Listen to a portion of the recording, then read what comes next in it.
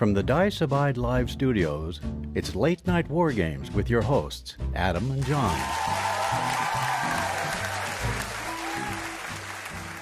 Hey, Jay. And hello, everyone. I'm Adam, but you know me as the Dice Abide. And I'm Jon, aka Wise Kensai. And tonight we're welcoming back Obadiah Hampton. Yay! Yay. Yay! Welcome, welcome. How are you, Obi? I'm doing pretty well. How are you? Doing all right. You're all right. It's been a while. Yeah. It's a whole new season of ITS. It's uh we're like it's like Christmas Day. Yay! Happy ITS, everyone. well, uh, Obi, what are you drinking tonight? Uh well I made myself a dark and stormy with some uh Kraken rum. And uh so that's what I'll be drinking. Very Sounds nice. Delightful. Jon. Uh, I am having. I'm trying to finish that bottle of uh, alcoholic tea mix. So that's what's happening still- now. Still putting it back. There's a little bit left. So Excellent. Well, I am having uh, something I haven't had in a long time. I'm having a Heineken. It was sent by our listener Grizzly Troll. So, cheers and thank you for the booze, cheers. All right, gentlemen. Bottoms up.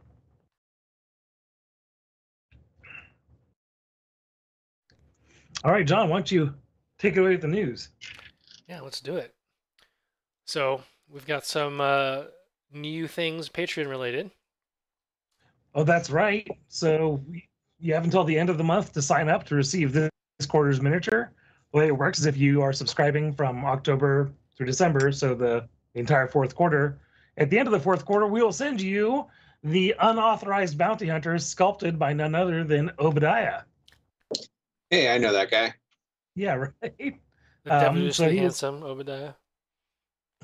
Kind enough to uh, sculpt us the SMG acrylate cannon in the style of um, oh uh, Max Scorpio. There we go. Who all just happens to look like Ryan Gosling from Drive.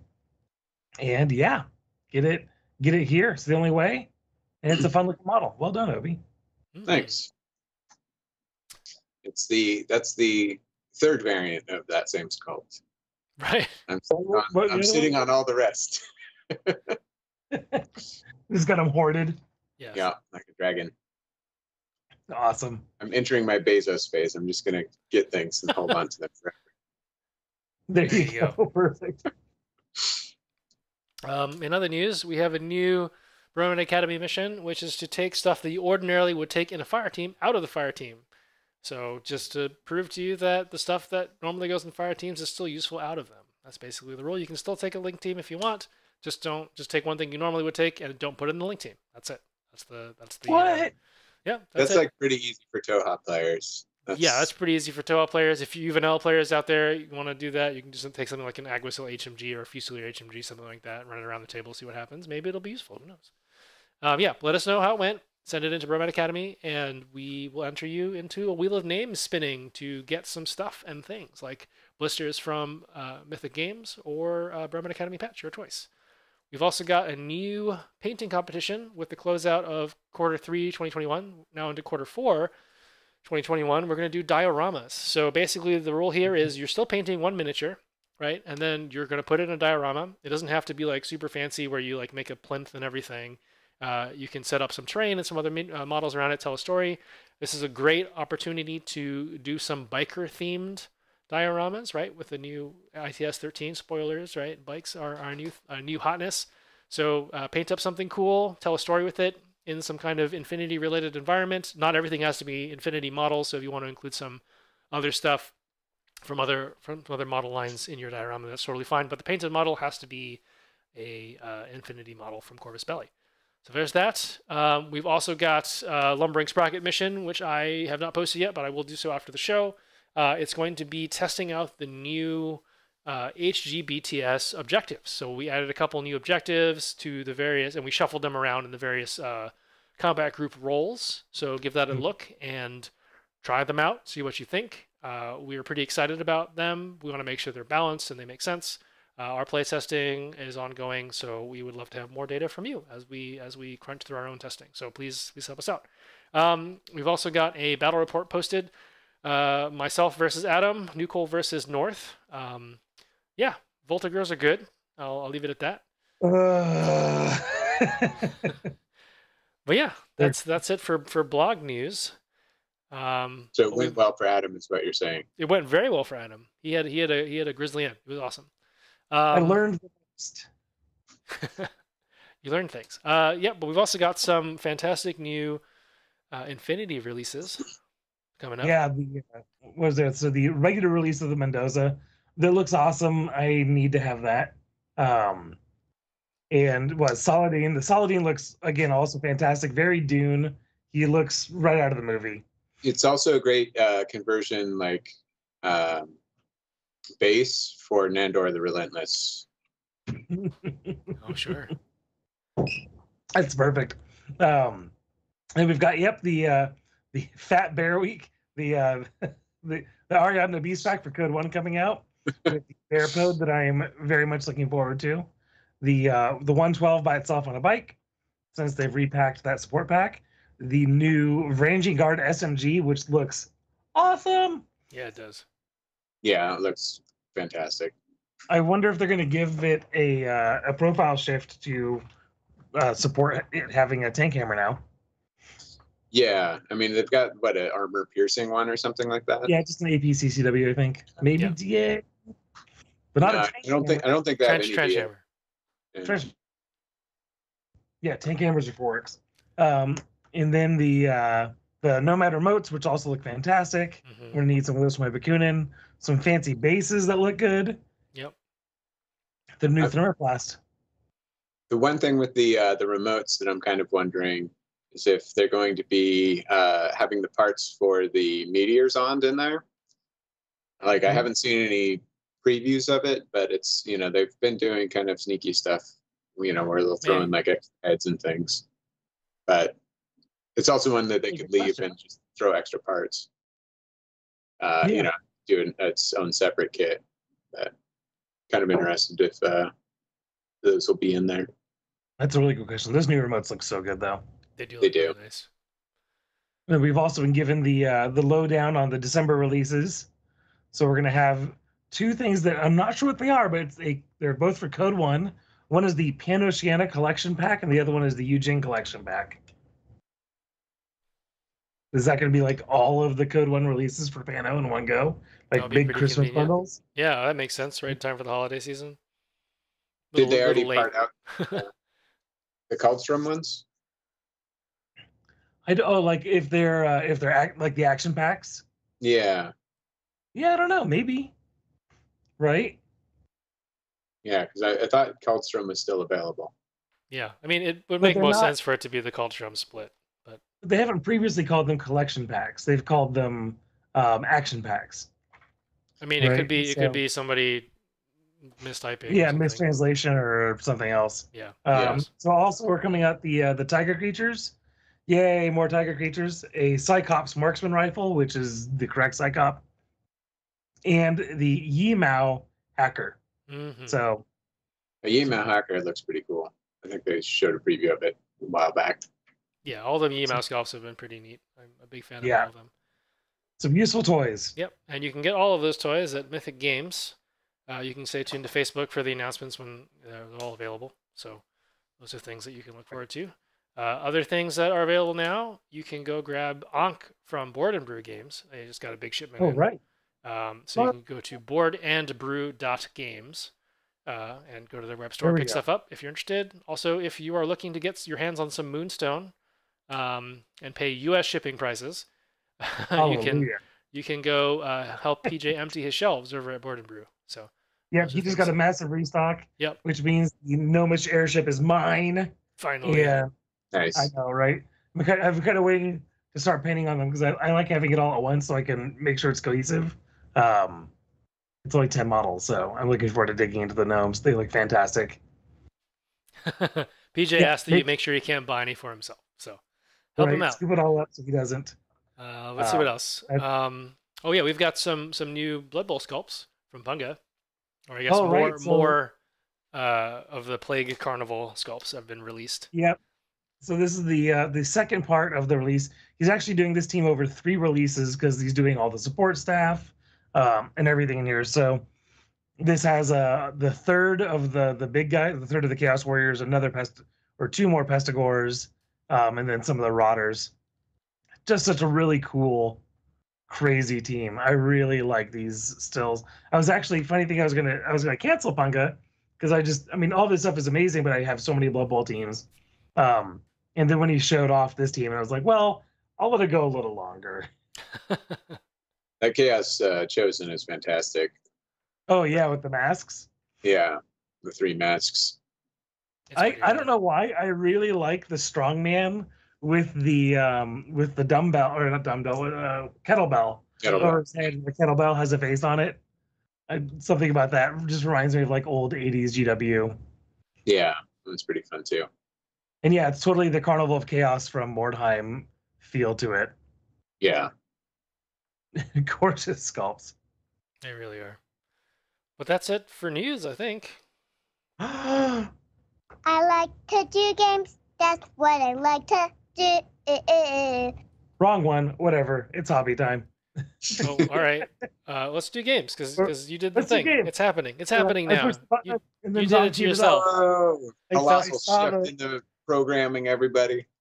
I saw the panic on Jon's face. So, we're doing games.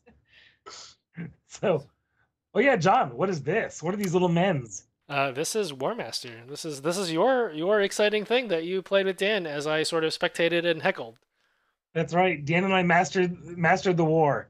Um, this was a hell of a lot of fun. I love.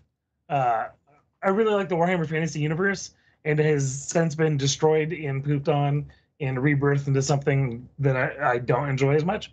But uh, Warmaster has a very strong, thriving community, especially uh, thanks to 3D printing, making it possible to print out full armies. Um, you know, and since each model is only you know a half an inch tall, they print really quick on a resin printer. So Dan and I were able to throw down a thousand points of dwarfs versus wood elves, classic bitter rivalry matchup. Um, it was a hell of a lot of fun. You know, the the combat is really uh, it gets really abstracted down, right? Warriors just roll like four up to hit, and the other person takes the armor save. Um, but it what it ends up doing instead is puts a lot more emphasis on your command of the army before you get into the fight right because at this scale like the difference between like a, a dwarf hammer and, an, and a high elf greatsword is uh, doesn't matter Yep. like when you've got 10,000 of them versus 10,000 of them it's like it's irrelevant It's irrelevant. Yeah. um, so if you like Warhammer Fantasy and like the maneuvering game that that Warhammer Fantasy was, this game puts more of the emphasis on the maneuvering. Um, and then it has like a cool command system where basically your heroes are kind of little individual models scattered about in your back lines, um, and they give orders to your units. But the more orders they try to give, the more likely they're to fail giving orders. And once a unit stops receiving orders, it just kind of stands there. It's really good. Um, it's a, yeah, it is a really pretty fantastic game. I was impressed with how quickly we picked up the rules. I'm sure we got a million things wrong, but given the fact that it's a you know GW rules from the 90s, uh, it felt pretty pretty intuitive for being that. Yeah, it was actually a lot of fun. Uh, I played a few turns on Dan's behalf just so I could be part of the fun too and be included. Um, Mhm. but yeah, I, I really enjoyed it. Uh, I went out pretty much that evening and bought a bunch of stills to print out a Japanese themed Skaven army. Um, Yep. So there's actually a guy, Cromarty, I think, right? Cromarty Forge, Yeah, Chromar. that makes a Japanese themed Skaven army, but also like he made a bunch of extra sculpts. Uh, and there's a fan um, like samurai ninja army for War the Master. Nippon. The Nippon, yeah. So uh, I basically paid once and got two armies. So seems pretty good. I'll, I'll do that. I we just got to get. I we just got to get Dan to uh to print them out for you. Yeah, I'm I'm sure it'll be fine. And I'm already on to you. So I, I did dwarfs to start with again, like against the recommendations of everyone. Um, everyone is like, don't start with dwarves. They don't have a magic phase. You're missing out an entire aspect of the game, Right. and your job is to sit there and wait for the enemy to come to you. And They're like, Like, the hard tried- counter to Skaven. Yeah, exactly. And like I tried to like run out there, like and engage and play part of the game. It's like, no, the correct thing would have been me sitting back and waiting for the stupid elves to get to me. yeah. Um, Like you Like, should like tell- so there's a there's a bunch of cannons in the top corner of this image that should have just shot at the elves as they advanced. right. I should have. I should have. I should have dwarfed properly, but no. I tried to. uh I tried to be fancy. Yeah. So I'm gonna see if he can uh, print me out the Bretonnians instead, which I got all the Forest Dragon Bretonnian STL files, and they're gorgeous. Yeah, Dwarfs have a cannon phase. There you go. Yeah, exactly. Everyone else has a magic phase. Dwarves have the cannon phase. No, it was it was really good. And Yeah. the yeah, such great little sculpts though from Cromartie. It's it's So- it's very much a positioning game, right? Like you were saying. So Yeah, it, it the thing is it feels like old Warhammer Fantasy to me. It's Yeah. like Warhammer Fantasy was really your the the game like half the game was over when you were done with deployment. You could absolutely have lost the game in the deployment phase alone. So it really heavily emphasized that. It's maybe less reliant on deployment in this because units can be surprisingly fast, but you have to risk giving them a lot of orders to move them into a better position. sure. So it's it's nice. Yeah, recommend it. We'll probably like, We'll do we'll an definitely- episode on- at some point, I'm sure. Yeah, exactly. Once we get a, a few more games under our belt. Yeah. Obi, did you get any games in? Uh, yeah, I actually did a tournament out in Sacramento, um, run by a Hobby Badger uh, on Saturday. Uh, so I got three games of uh, Infinity in. I was kind of Oh, running nice. running a little bit of a more casual list. Uh, I just was running Tohaa, but with all of the uh, mercenary units that Tohaa can get, which is Mhm. uh, comes out to exactly, or what I built came out exactly to 200 points uh, of that, Oh, just uh, of mercenaries, and uh, I think it was a full 10 models, um, and then just filled it out with some other stuff. Um, I don't think it did well in any of the missions. Uh, the first one I won because uh, my opponent just both of us were just rolling crazy high dice, like not just for armor saves but also to hit. So he'd be hitting me on 15s and not hit because you rolled too high. And you know I rolled a 20 for my reaction, so we just whiff on a lot of things. But Oh, uh, it was it was uh, still pretty fun to to put them all on the table and uh, try and do something with them. Yeah, you I mean you finished your Tohaa army. How many of us can really say that, right? Like they finished a whole army of painting, especially as the army grows and all your conversions and custom work. It's a big You know, That's it's accomplishment. Not just That's the one thing that's nice about Tohaa being, you know, the, the one upside to them being discontinued was that I could, Oh sure. you know, wasn't constantly getting, a, you know, an inflow of new models every, Right. you know, two or three months. exactly. that's funny and totally true. I mean, they don't even get like, you know, they didn't even get, uh, like the, you know, Fiddler didn't join them. You know, they don't get the any of the, uh, the regular mercenaries that a lot of the human factions get. So You did get some of the Defiance characters thrown in there. yeah, yeah, we got we got Kindrat and we got uh, Janstar. I was glad that they added Kindrat. That was uh, a recent addition. Yeah, that's pretty fun. well, very cool. Yeah. Jon, you got a game. I did. I played a game of uh, supplies with Eric, aka Zalpanipis, of uh, Are You Worthy fame, for those of you who go all the way back to the beginning of Tabletop Throwdown. Um, yeah, the game is called Ajax Strike instead of Alpha Strike. Uh, spoiler alert: Ajax does a lot of work. Um, I'll let you read the battle report when I when I uh, when I publish it, probably next week. Um, but basically, my list was Hector, Akmon, uh, pair of Thorakites or Thorakitai, however you're supposed to say it, uh, Agema missile launcher, Ajax, right, and then Phoenix and two Myrmidons. One's a hacker and uh, just like a flashball spot. Um, yeah, Eric took a list that I sort of made for him. Then he changed a bunch. Uh, he's playing White Banner, so three Guilang Mine Layers, a Guilang Hacker, a bunch of bots, specifically the um, Son Bay. He's he's all in on the missile trick, right? So then his he's got a main link in his second pool, which is a which is Shang Jesus, uh, Tian Gao, uh, two Zhanshi hackers, and the lieutenant, and then a couple Shaolin just to round everything out. So, um, it looked like it was going to be a pretty standard game of supplies, and then turn one happened, and at the end of turn one, sorry, the end, sorry, at the at the bottom of turn one, this is what he had left. Um, so he went from 299 points to 149 points uh, at the bottom of turn one. So uh, Gross. did not go very well for him, as you can imagine. Uh, shockingly, though, what we ended up doing was we we spent a lot of time discussing all of his options and working through all the various problems on the table, um, and it got to be pretty close. I mean, it was it was he was really fighting for a tie, right, uh, at the end of the day, or like a like a uh, several t like a one or two TP TP loss. Um, but it's important to take that time to think about how you can recover from such a devastating alpha strike. Um, and Yeah. so, you know, we actually uh, go through a lot of detail, talk about a bunch of stuff, and then at the end, uh, the next day, we usually have like a big long text chain about like what we could do, and it's all there, so you can you can read it and and and absorb the lessons that Eric Eric got out of it, uh, and I got out of it. Um, so it's a little more of a cerebral battle report.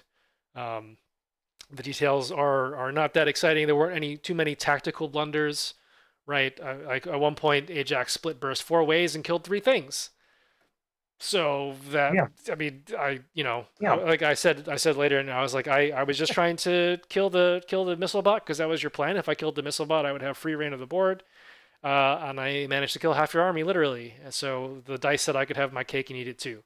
Um, but you know that's not some you know Eric didn't make any like crazy mistakes or anything. It was just the dice went super hard my way, and there's a couple things he could have done a little better, and we talked about it. So yeah, something to something to digest um, when I publish it. Probably uh, not this week, but the next.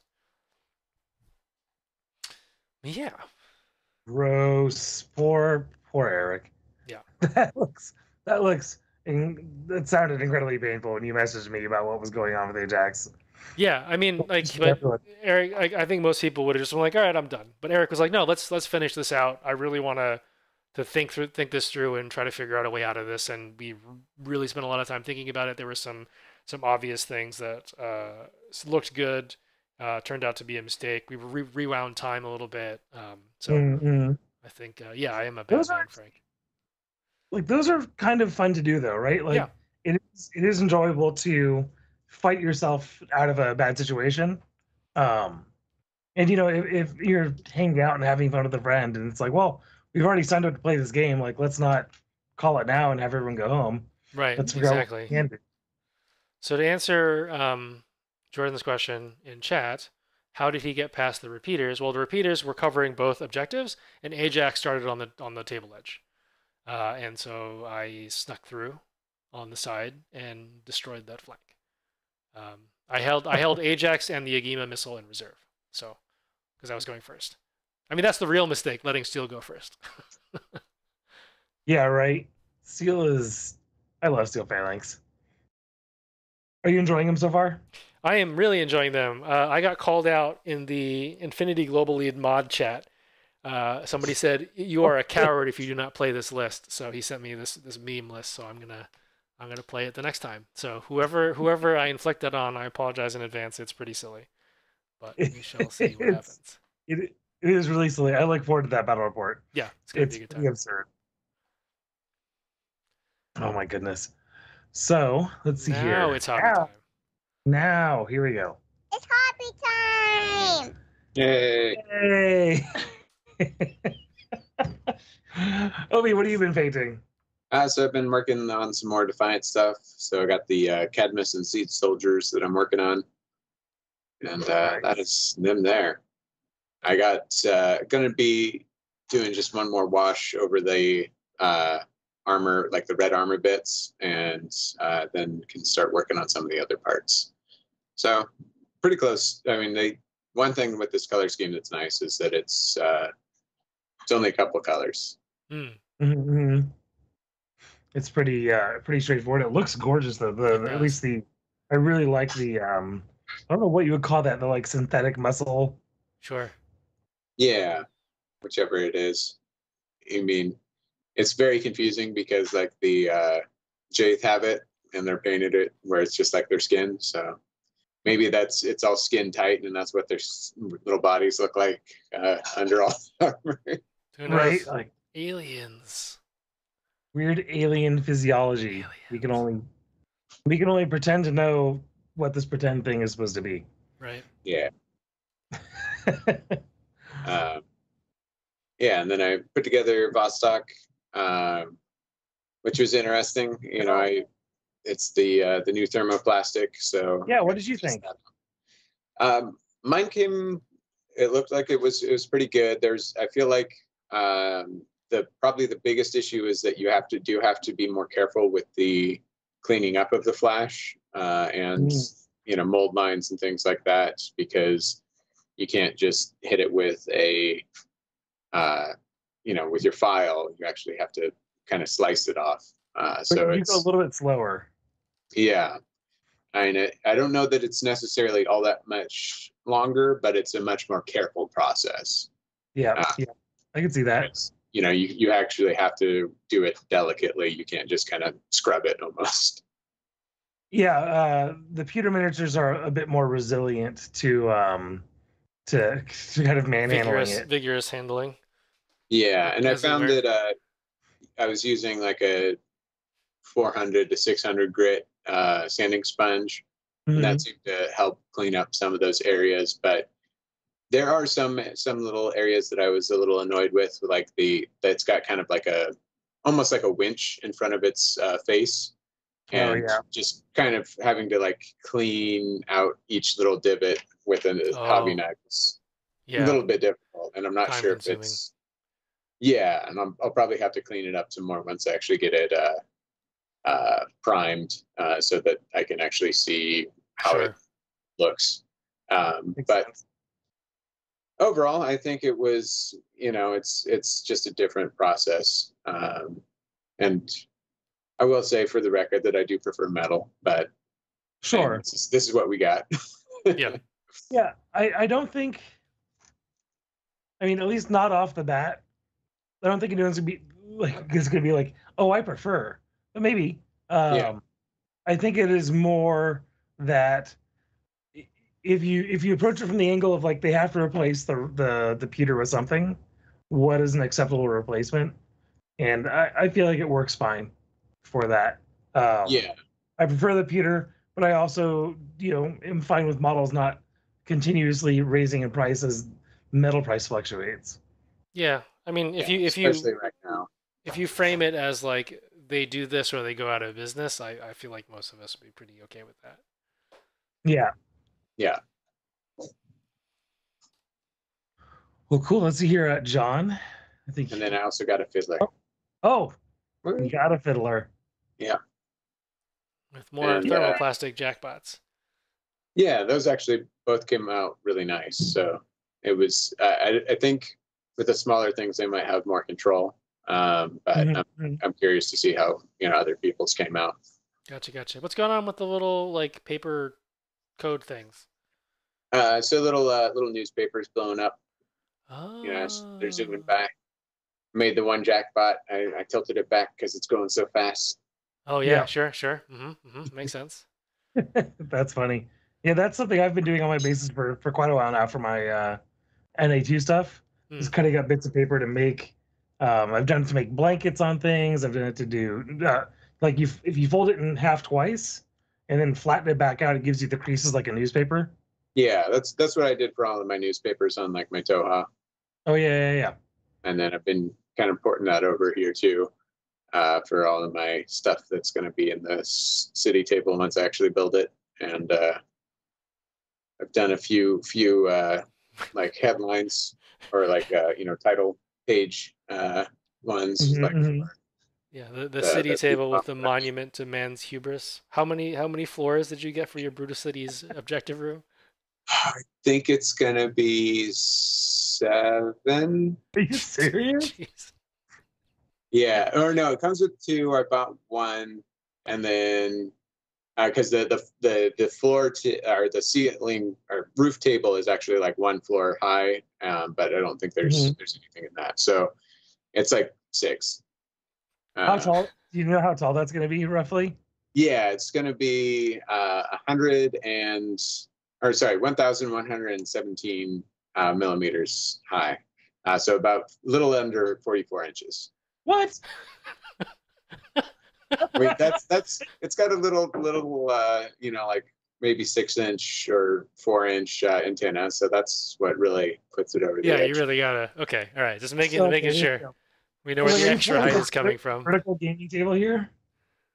What's that? I said, are you um, are you planning a vertical game table here?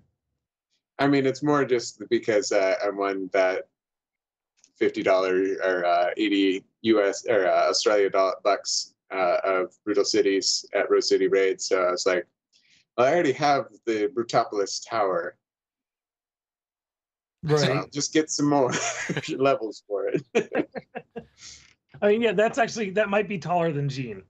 Like she she Yeah. was just barely tall enough for the roller coasters. So yeah, no, I think I think it is. I was telling um, telling my sister that you know I don't have a child, so I will I will I make, will make my one. my my tower be taller than Adam's child. Excellent. Jeez, that's hilarious. I'm looking forward to seeing this uh, one day assembled. Yeah. right. yeah, one one day is the keyword. All Goodness. right. Well, I have I have did a thing. I did a thing after not doing many things for many weeks. I finally finished painting my Grenzer. Uh, it is fine, and I'm satisfied with it enough to move on to the next thing. So, yeah, looks great. There you go. It's good enough. Um, Yeah. Yes, It's it's a Grenzer. It grunts things. it grins things. it grins is even better now. I mean, It it does grins things even better now. all the, all those sad bikers that just got their mimetism. Yep. It's it's It's it's like the same. Grenzer, but is it is it Grenzist?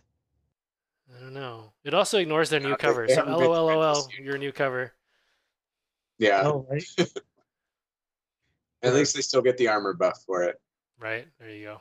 Adam's Mavericks can still be like, I'm arm six. Shoot me with a sniper rifle. I don't care. Dude, Shoot you with wait, double like, It'll be fine. let's not get too far off onto that tangent because I could talk about how excited I am about bikes for quite a while. Right. Yeah. Well, back to some heavy gear.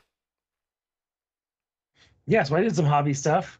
I built some. I built some more mans. Um, so uh, first, actually, on the bottom, I built four of Jon's Lanciers, which are the NuCoal Mountaineering Unit. So they're a bunch of guys basically with climbing plus.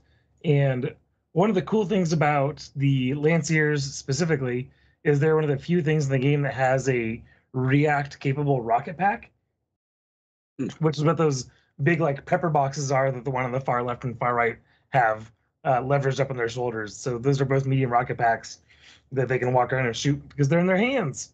The the, the one front and center, uh, kind of a little bit to the right, is the the leader has the leader head on it, but most importantly, it's firing both of its climbing hooks directly forward with its shotgun. And it's kind of like the big fuck you to wherever is whatever is right there. Exactly. Um, I love it. And the one in the back there has a giant flamethrower. So they seem kind of neat. Jon, are you looking forward to playing them someday? Yeah, I'm very very much looking forward to playing them because I want to use the linked medium spike guns. Yeah, the linked medium spike gun, With and I think they have brawl a point of brawl. So that's Yeah. what five five d six. That's three. Oh, four for linked. Yeah. No, Yeah. no, no. It's oh yeah, you're right. It's four. It's four. Yeah. Yeah. Still, still pretty great. That's that's still pretty gross. I'm So excited. having a handful of those just come up and yeah, impale people with spike guns. Um, and then above it, so kind of toying with putting together a, uh, a small militia army for South. Uh, so at least one of us is playing South. And I was digging through. I bought a bunch of the heavy gear arena miniatures a while back to make duelists for Kata when I thought I was going to do Kata, and instead I've just turned them into cool, cool looking regular gears uh, for the South. So on the left, that is the Long Fang Blackadder with the linked medium rocket pack, and then on the right is another guy with a linked medium rocket pack, which is the uh, Long Fang Mamba, Mm. and that was the, the the Razor Fang. So he's the commander. I like how comically small the the guy on the head, like his head, is on the left. Yeah, right. It's pretty great. That I really like the I really like that model. Just the little the little ball with like three lenses sticking out of it. Right. Yeah. It's like it's, it's armored. That's that's the intent. Those things are stupid armored too. They're Yeah. really tough. So yeah, those are fun to whip up. And then I also have been fiddling with a fiddler. So this is my uh, no, we have not gotten to ITS 13 yet, November Mike. We're just getting through the news and hobby. So, um, yeah, this is my fiddler, and like Obi, I wanted to give it a sense of motion. So I used some tiny resin cans that I got a while back and have them like up on end flying past as she zooms by on her fancy hoverboard. Um, and then to to give it even more of that that same feel, I cut small squares of paper to make small pieces of litter, then curled them and have them then glued off of the can, and then another piece of paper glued off the uh, yeah, and one of them's been run over. Good eye. Um, and then another little piece of paper off that, so it looks like a bunch of paper, you know, flying back as she goes through. Oh, So, Frank, Frank has the, the, the real question. What's what's front facing? No idea yet, and I don't have to worry about it until I paint her. But it's got marks on the bases already, thankfully. I guess. I guess the direct forward the direction of the hoverboard. I'm thinking, you know, it's like the um, it's like the Argato biker that's literally firing behind it. And you're like, do I yeah, drive right. the Like which way is this pointed? Yeah, do I drive the motorcycle backwards, or do I just pretend that he can't really shoot that way? hmm but it's a rad model. I I did the insane thing and pinned the tail, um, which I don't recommend in the future. Yeah, I, I did that too, but I only really pinned it probably until like the like ring around the tail. like I didn't go very very deep into it because I was like, this is gonna go poorly. yeah, It's The so diameter of the tail is really small, so trying to pin into it is very difficult. What I do, because I'm not as cool as these two, is I will generally generally drill the connection point into the body deeper than it is uh, sculpted, and then insert more of the tail into the connection point to make a like a shallow channel for it to go into. Uh, that's what I've done for like basically all of the antipodes, like the um, Bakunin Uberfall Commando, uh, Bran when he still had a tail before I stepped on him in a tournament, things like that. So yeah, so tail becomes pin exactly. Yeah, I mean, I was thinking about doing that, but she has kind of a ring, and I didn't want to destroy that. Like you know, or like a seal, I guess. I don't know what it's supposed to be exactly, but trying try to leave the model as intact as possible um, Mhm. while making the tail a little bit more secure. yeah. So I I see a lot of people with broken tails in the future. Yep. Just you One- just the got to one make it. out glaring problem with the mini, right? It's just the logistics of putting it together. Yeah, yeah. If they gave it a, a, a deeper peg, it would have been fine. But I mean, it's still a gorgeous miniature. Yeah. Um. But yeah, so uh, that's all. That's all that I've been working on. Yeah, Nice. Oh, we already did games. we did. which means it's time for the Mythic Games sponsorship. Woo! MOE Games every week provides one of our lucky listeners with $10 in credit to moe-games.com.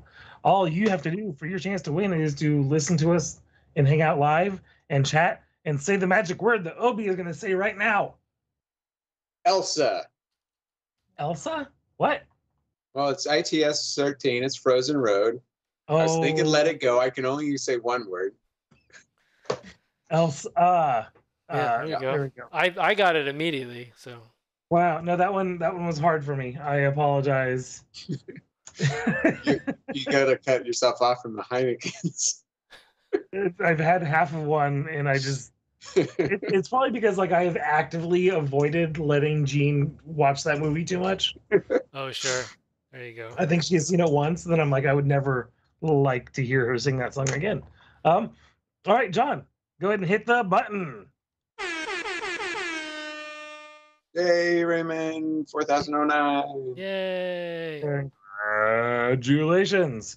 All I right, I'll go ahead and uh, find you in this thing here. Where was your name? I'll find it in a second and shoot you a message and let you know how to collect your prize.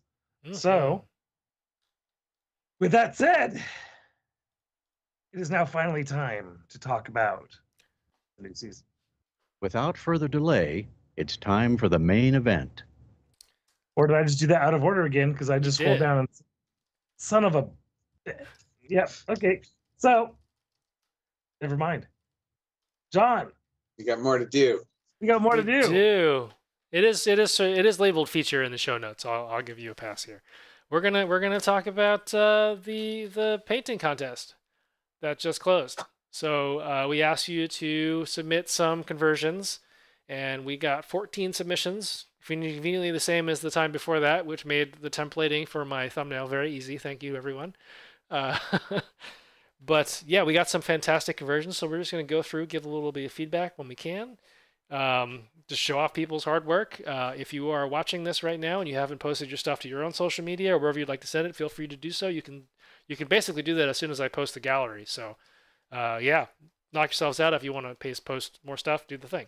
Uh, we've got a bunch of um, uh, submissions from uh, Spanish language countries, right? So thank you to um, Renee over at War Garage uh, for for hooking us up with his Spanish language translations of a lot of Adam and my content uh, and my content. Uh, so thank you to Yeah. him, and we'll just go through go through all the stuff that we we got submitted. So I guess what I'll do is I'll sort of show the conversion first when people sent like a lot of people sent in their conversion uh, unpainted just so we can see like what's going on behind the scenes.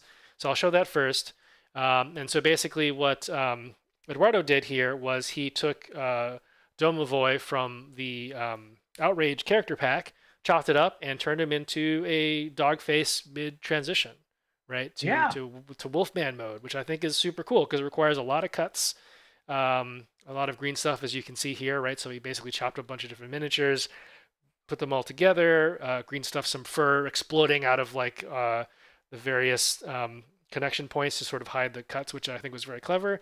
And we end up with this beautiful um, rendition of a, of a of a guy turning into a wolf, like mid transformation, which is pretty rad. Yeah, it's pretty great. I like that one a lot. Yeah, it's a great conversion. Yeah. So great paint job as well, right? Skin tone is excellent. Um, the green is very nice, uh, picking out all the various different details and all the straps. Um, like the boot laces, right? Like people, people, a lot of people would have just painted those like straight up brown, called it good. Um, but yeah, all kinds of all kinds of great detail. Put it on a nice plinth as well uh, to give it Mhm. some sort of setting, some some snow snow terrain there going on uh, to really let you know what's going what's happening. It's cold, right? And maybe maybe he had some advanced information about ITS 13. Who knows? Uh, but yeah, great job. Okay, then we've got Igor, right? And so uh, his, you know, I, I I initially said that uh, if you're not Obadiah, right, we don't have to have like a, a world class conversion here. We're just judging you on your paint. So um, you know, Igor made sure to check with me to make sure this is okay. This is the scar, the bootleg Scarface. He added a gun um, which is you know not the the most ridiculous conversion, but I would say that his paint job is extremely well executed, right? As as it so often is for him. So we've got him uh, punching, you know, gribbly alien man in the face. Yeah. Yeah, that's. I've always loved this model. It's one of the ones I need to paint it, uh, among many other things. But, um, yeah, uh, well done with the paint. I really like the the the pasty pale Shasvastii. hmm I kind of like that touch. A lot of people make him kind of look like green and slimy. I, I really liked this. Kind of Yeah. gross. Like I don't want to. I don't want to touch it. It looks like a worm. Yeah, I also really like what he's done with the, uh, I guess the tank top, right? How it's all like gross and sweated to him. Yeah, Right. yeah, Which I think is- Yeah. It's like it look you look at this and you're like, wait, what's going on? Oh, you're like, oh, it's the tank top that's like all like caught up on all of his rippling musculature, right? So pretty rad. Excellent work on the hair, of course, and then just like the detail on Scarface and all the battle damage and uh, you know crack stuff where it got got uh, beat up and the the chopped up uh, like artificial muscle or whatever. Really, Yeah. really nice. Also, like the uh, the Scarface logo uh, on Oh, yeah. the shoulder pad. It's all you know shot up. Mm-hmm. Which is nice. Yeah, hard to do that kind of stuff on an irregular surface. Uh, make it make it look recognizable anyway, right? So I think that's a really good job there. And then just like the the small details, like the bluing on the gun, very nice. Uh, you know, it, it looks like it belongs there. It was part of the whole thing, which is the point of conversions, right? So Yeah. The only only thing I would is uh, say is that I'd like to see some uh, closer up of you know like some more detailed shots maybe. Sure. Mhm. Yeah, Mhm. definitely. I mean, I think that's that's true for a lot of people who submit, right? It's hard to remember to do the framing. Uh, what so what some people have been doing is taking up up close photos, or you do a split on some particular part of the detail, which I really Yeah. appreciate. Uh, and Jordan, you did make the front page. You are you are right here on the top right. I just couldn't update the Facebook one because I posted it before um, uh, before you got yours in. Uh, but you did make the judging, so everything's good. Um, We got Yeah. you. yeah, we, don't worry. We got Luke, who uh, who did a Sonic themed conversion of the Karakuri box. So That was. I I definitely had to uh, stop and have a chuckle at this. It's a gotta go fast squad. Right. yeah, right. Sonic Yeah. Knuckles and Tails. Yeah, Yeah. I I mean like It's- it's you you wouldn't think to do this with the Karakuri, and I gotta say right like immediately recognizable as to who they are, like very characterful, like just just the Mhm. like the you know the victory like chain rifle pose is perfect for Sonic, right? It's like I got here, yeah. I'm going really fast, chain rifle to the face. Fantastic. Well, and doesn't it at the beginning of Sonic 2 he do the the peace sign? Yeah, right. Yeah, exactly. So I mean, I, I, mean that if I had to guess, that would be where the where the uh, uh, inspiration came from. Um, but yeah, you're absolutely right, November, Mike. Like it's it's very hard to photograph minis. It's it's a it's a art in and of itself. Um, there, I did link a, uh, a, a mini photography thing to um, to the current competition, right? But just just a few a few like quick uh, tips for those of you listening who want some advice on how to to do it uh, if you're going to submit this quarter, right? So uh, it's great that it's on a plinth. We don't need to see the plinth, right? You can just crop literally just Scarface and like this. This is a you know a great example. I'm not trying to pick on Igor here, um, but we want to see all the great work you did, um, zoomed in. You can also you know do do cuts and stuff. I'll, I'll show you that when we get there. But yeah, so great job, Luke. Here they are, uh, like right after right after um, the green stuffing, I'm sure, and then um, and then the um, uh, right after base coating. All right, on to Carlos, who has built a Stempler Zond out of a Dakini, which is pretty freaking cool. That is rad. So I didn't I didn't Yeah. catch that it was a, a Stempler. I Yep. kind of didn't even pay attention. I was just like, this is a cool thing. Yep. So he also he also Yeah. made a meteor out of the Garuda, which I love. Right. So he wasn't he wasn't Cool. asking us to judge that, but he was like, "Look at this other cool thing that I made." I'm like, "All right, now you're just flexing on all of us." Um, but yeah, what a what a Well, so- cool so- conversion. So go Yeah, back up it's a lot of to fun. yeah, go back up to the first picture. Yeah. Like I think that that is a uh, combined E drone head flipped upside down for the torso. Yeah. Yeah. It took me a minute to figure out where that part was sourced from, but yeah. Yep, and that yellow cylinder that comes up the back is part of the Q drone HMG. Mm. Yeah, Yeah. this is re- this is really well done.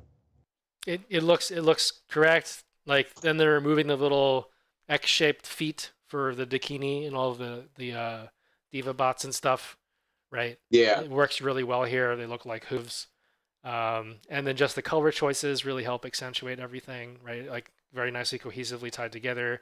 I love the the pink on the piping there. Um, yeah, excellent. What a what a great conversion. And the basing is really nice too, right? Just look at look at the the nice wear pattern. It like actually looks like concrete or some kind of chipped up surface there, which is really Yeah. nice too. So I get you know a lot of people uh, do a great job on the mini and then kind of phone in the base. I I am one of them, right? You're just like I don't know, the base seems like it's gray. Gray seems good, um, but this is this is a very nicely executed base. Yeah, I like the um so part of the way it looks like to me that he paints it is actually over a really strong zenith with thin down tints of Mm. paint. Mm-hmm, mm-hmm. And it creates hmm?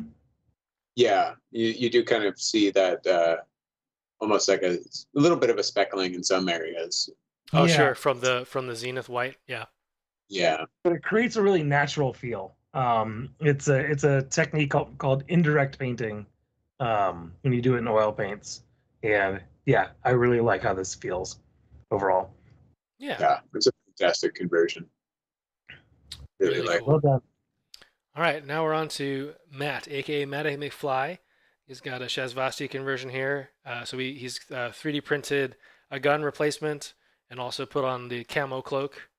Right, so we've got uh, our our guy here. Mhm. Very alien. I think that's that might be color shift paint there. It looks like Oh, maybe yeah. right. So really just just selling the like, hey, this guy is is not uh, human technology. Uh, very shimmery. Um, it, it really works out well on this this uh, I guess is that piece of cloth. It looks like from the other picture. Uh, and then Yeah, like working in some some texture with the with the texture paints or I guess sand and and then of course the uh, the tufts of grass.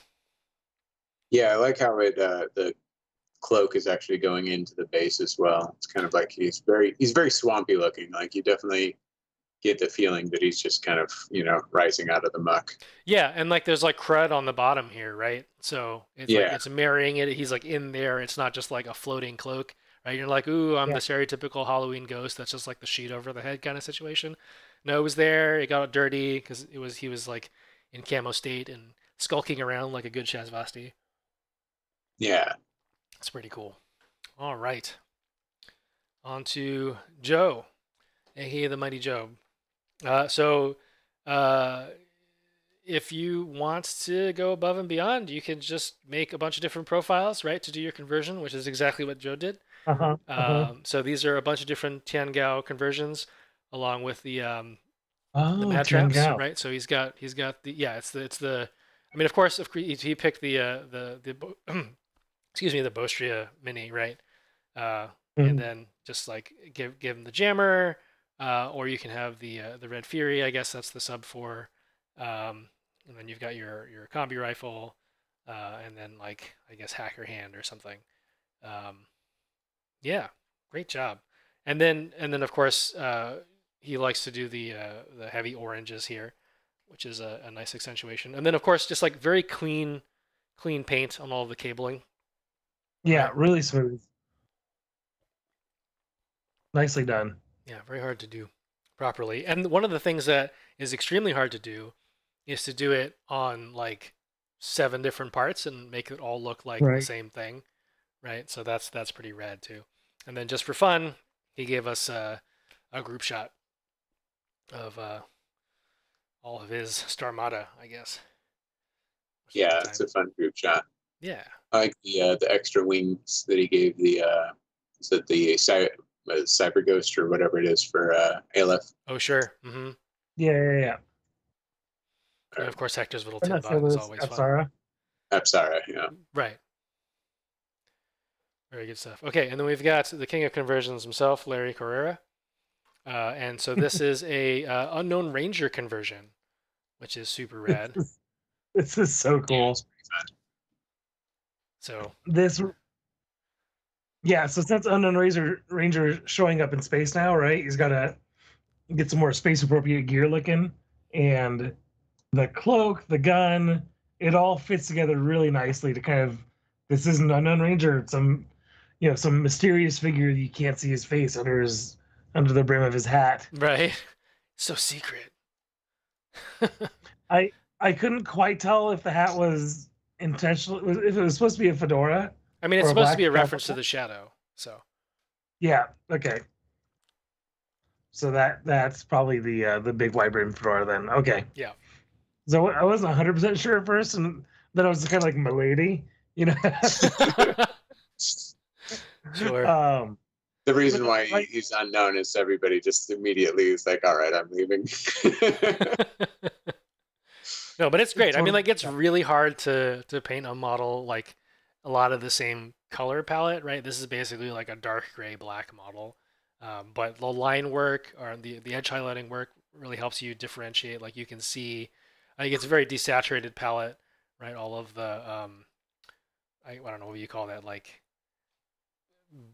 belts, I guess, on the back of The his his straps. Sure. Um, yeah. Yeah. So like it just helps break up the outline, uh, but you you can see like a lot of uh, attention is focused on getting the folds of the cloth right, um, breaking up all the various like panel lines and stuff to sort of like give you a sense that it's not just like an amorphous black blob with a hat, right? Which it could have been. It could have very easily have been that. Uh, but he did a great job of, of breaking it all up. And then of course just to, to show off all of his um, all of his conversions. Here's a group shot of all of his uh, friends with with the shadow, which is a lot of fun too. So So the, I- the one thing that for this that I would think is that it's it's kind of photographed against this kind of charcoal gray Oh, sure. background, mm-hmm.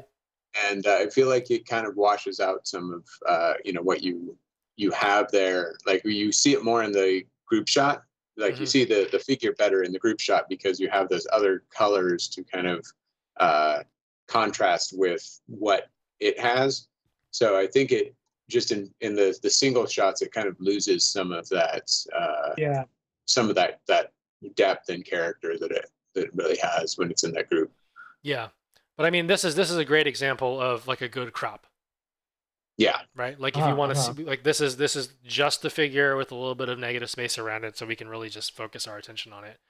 Um, but yeah, like that's that's that would be helpful. Yeah, like the, just like small things. Uh, off, like one of the hardest things to do is like find an appropriate backdrop, right? Like not everybody just has like a mat for that. Um, but there you go. All right. Uh, good job, Larry. On to David, also known as Shingen, right? So here's his um, uh, de Fersen conversion, right? So, So- with his I was wondering actually. I don't know if it is the first. So, it, like, he might have meant it specifically as the person, but it was actually a hospitaler body. Yeah. Yep. So Yeah. he he says he emailed me and said this is specifically uh, attached. You'll see pictures of my newly converted father officer Gabriel de Fersen. I never liked original de Fersen, and when CB introduced a new version, I liked it even less. So he decided to go with his own version. And you're absolutely great. right. Uh, it's uh, so he, he gives a list of everything in here. It's a hospitaler body, some 3D printed parts, uh, head and hand from Unit Nine, and he self-designed the sword. So the sword and the sheath is his own design, um, which is pretty cool. So Oh, lots of lots of custom work here. yeah. That's awesome. This is a really great one. Just the uh, the blending in the shadows, especially on that tabard, is really nice. hmm Um, and then just the the blues and where it's catching the light. It's great. Yeah, like a lot. Like I really love just just the. I guess this would be his left leg, right? So Fersen's left Yeah. leg is really well done. I think that's a that's a really excellent thing to study if you if you want to learn how to do it well. Uh, it looks really good. Um, and and we've seen work from David before and uh, previously, like some of his his tabard uh, freehand was uh, either rushed or uh, sometimes there were mistakes. So this is significantly improved. One of the fun parts about doing this is you get to see like people improve model to model, and this is a def like Mhm. he's been working through his military orders uh, uh, over the past couple of competitions, and like yeah, like this is this is definitely a, a huge improvement, and it looks looks fantastic. So here's some other views, right? So you can see the uh, the other freehand that he's done, like on the shoulder pad, like just the the shading work on the gun is excellent as well, right? Yeah. The only thing that could have made this cooler is if he turned the hand upside down and had the red and blue pill in his hands. Oh, sure. Yeah, right. Yeah, there you go. Very yeah, Laurence Fishburne going for that. And and the the deal with it glasses, right? Mm-hmm. Mm-hmm. Pretty pretty excellent stuff. All right. Well, that's that's David. We've got uh Yosef aka Moxie, and he's got his uh Spetsnaz with AP rifle, right? So he's actually he's actually broken down all the various things that he's done. Right, so we've got a new, you, you know, you chopped up a sniper rifle to give turn it into a rifle, resculpt the shoulder and arm, Uh, I guess he had a, a really old Space Marine grenade that he threw on there. Yeah, right. Uh, Scratch built a knife, uh, did some tactical rock changes, and then of course he uh, custom sculpted a D-charge. Uh, so there was a lot going on here. Uh, he actually did it uh, in like a day because he just I don't know. So he used he used he used the episode like right before this was due as his timestamp. So there you go. Um, yeah, this is done with oil paints, I believe, if my understanding Yep. is correct.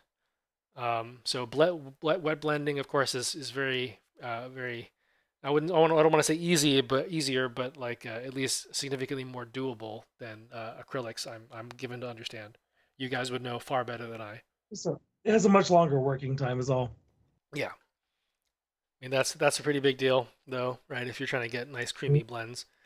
Um, but yeah, for for like I mean this this would be a great model for me if I spent like a week on it, right? And he did it in a day. Yeah, I, I think the thing that's really interesting about it is kind of when I first looked at it, it almost has a look like it's it's got some OSL, like it's standing in front of like a you know a big fire that it just caused or something like that. hmm Uh, so that's something that maybe you know you don't really quite see it translate when you start looking at like the back and things like that. But that might be something uh, you know to to think about is like the way that you can use uh, those oils and and just kind of create a kind of a scenic uh, Oh, uh, sure. you know piece just just on its own. Like it's got a it's definitely got its own story there, which is fun. Yeah, absolutely. And it's a great profile too for Infinity. So um, I'm, Yeah. I'm definitely it's my favorite Spetsnaz for sure, no question. Yeah, that AP rifle is rad. Yeah.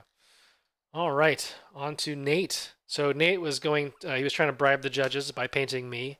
So Yeah, right. I I, uh, I I don't vote in these things. I, I make sure that I get other people to vote uh, because I don't I don't want to influence anything, uh, especially when I talk about it here. So but yeah, so Nate Nate uh, turned me into an alpha, which is which is pretty cool. Your rightful place, Jon. So you do need guess the hat that that's like that's I- written on it. yeah. you that you're, uh, you know, That's fair. That's fair. you What's my need job to say again? on the back. Yeah, right. It's like what what am I supposed to be forget. doing? I don't remember. um, I'm actually really impressed with how well the arms swapped on there. Yeah. Pretty yeah, seamless. they actually look pretty good. Yeah. Um, So you can you can see the giant pile of parts that he just like dumped on the base there. So pretty pretty straightforward conversion, arm swap. Nothing wrong with that though. Looks really good. Uh, and I look I look right uh, right at home next to next to my robot friend. Not that uh, not that, that I'm trying to say anything about that in real life. But, know. Oh, but yeah, right. no, great great work. Uh, some of the comments we got from the judges that uh, you know the eyes look great. Uh, there's a there's a good shot of a of one of the eyes. The other, the other one's a little bit out of focus. So um, yeah, good work, Nate. All right, Well done, buddy. on to Avendigo, who converted up this uh, Marut with wings. This Marut is so bonkers. I love it. I love this, especially the.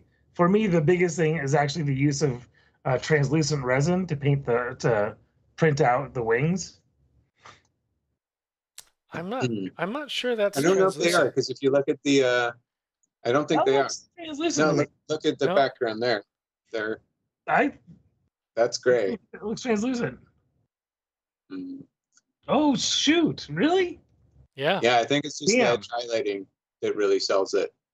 Okay. Right. Well, I I am wrong. Uh, I stand corrected. I thought that was translucent, which It really does look like that, right? So to to fool somebody into thinking that's translucent, right, is pretty pretty darn cool.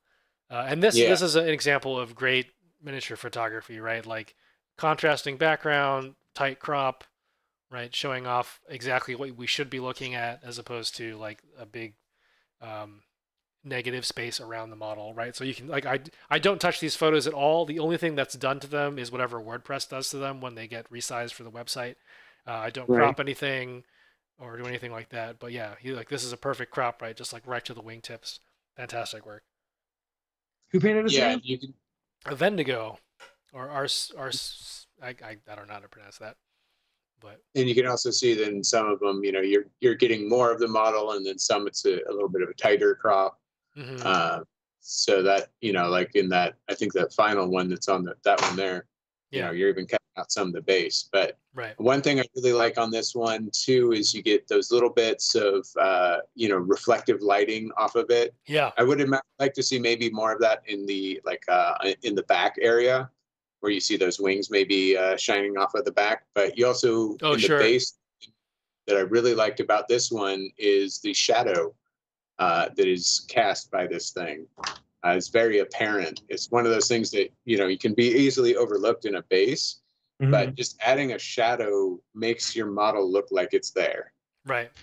yeah, um, you know like you can't and you can even do something simple as just you know shining a bright light on it and that'll kind of give you an idea of where you should have a shadow and or just do something simple as you know as making it darker under the model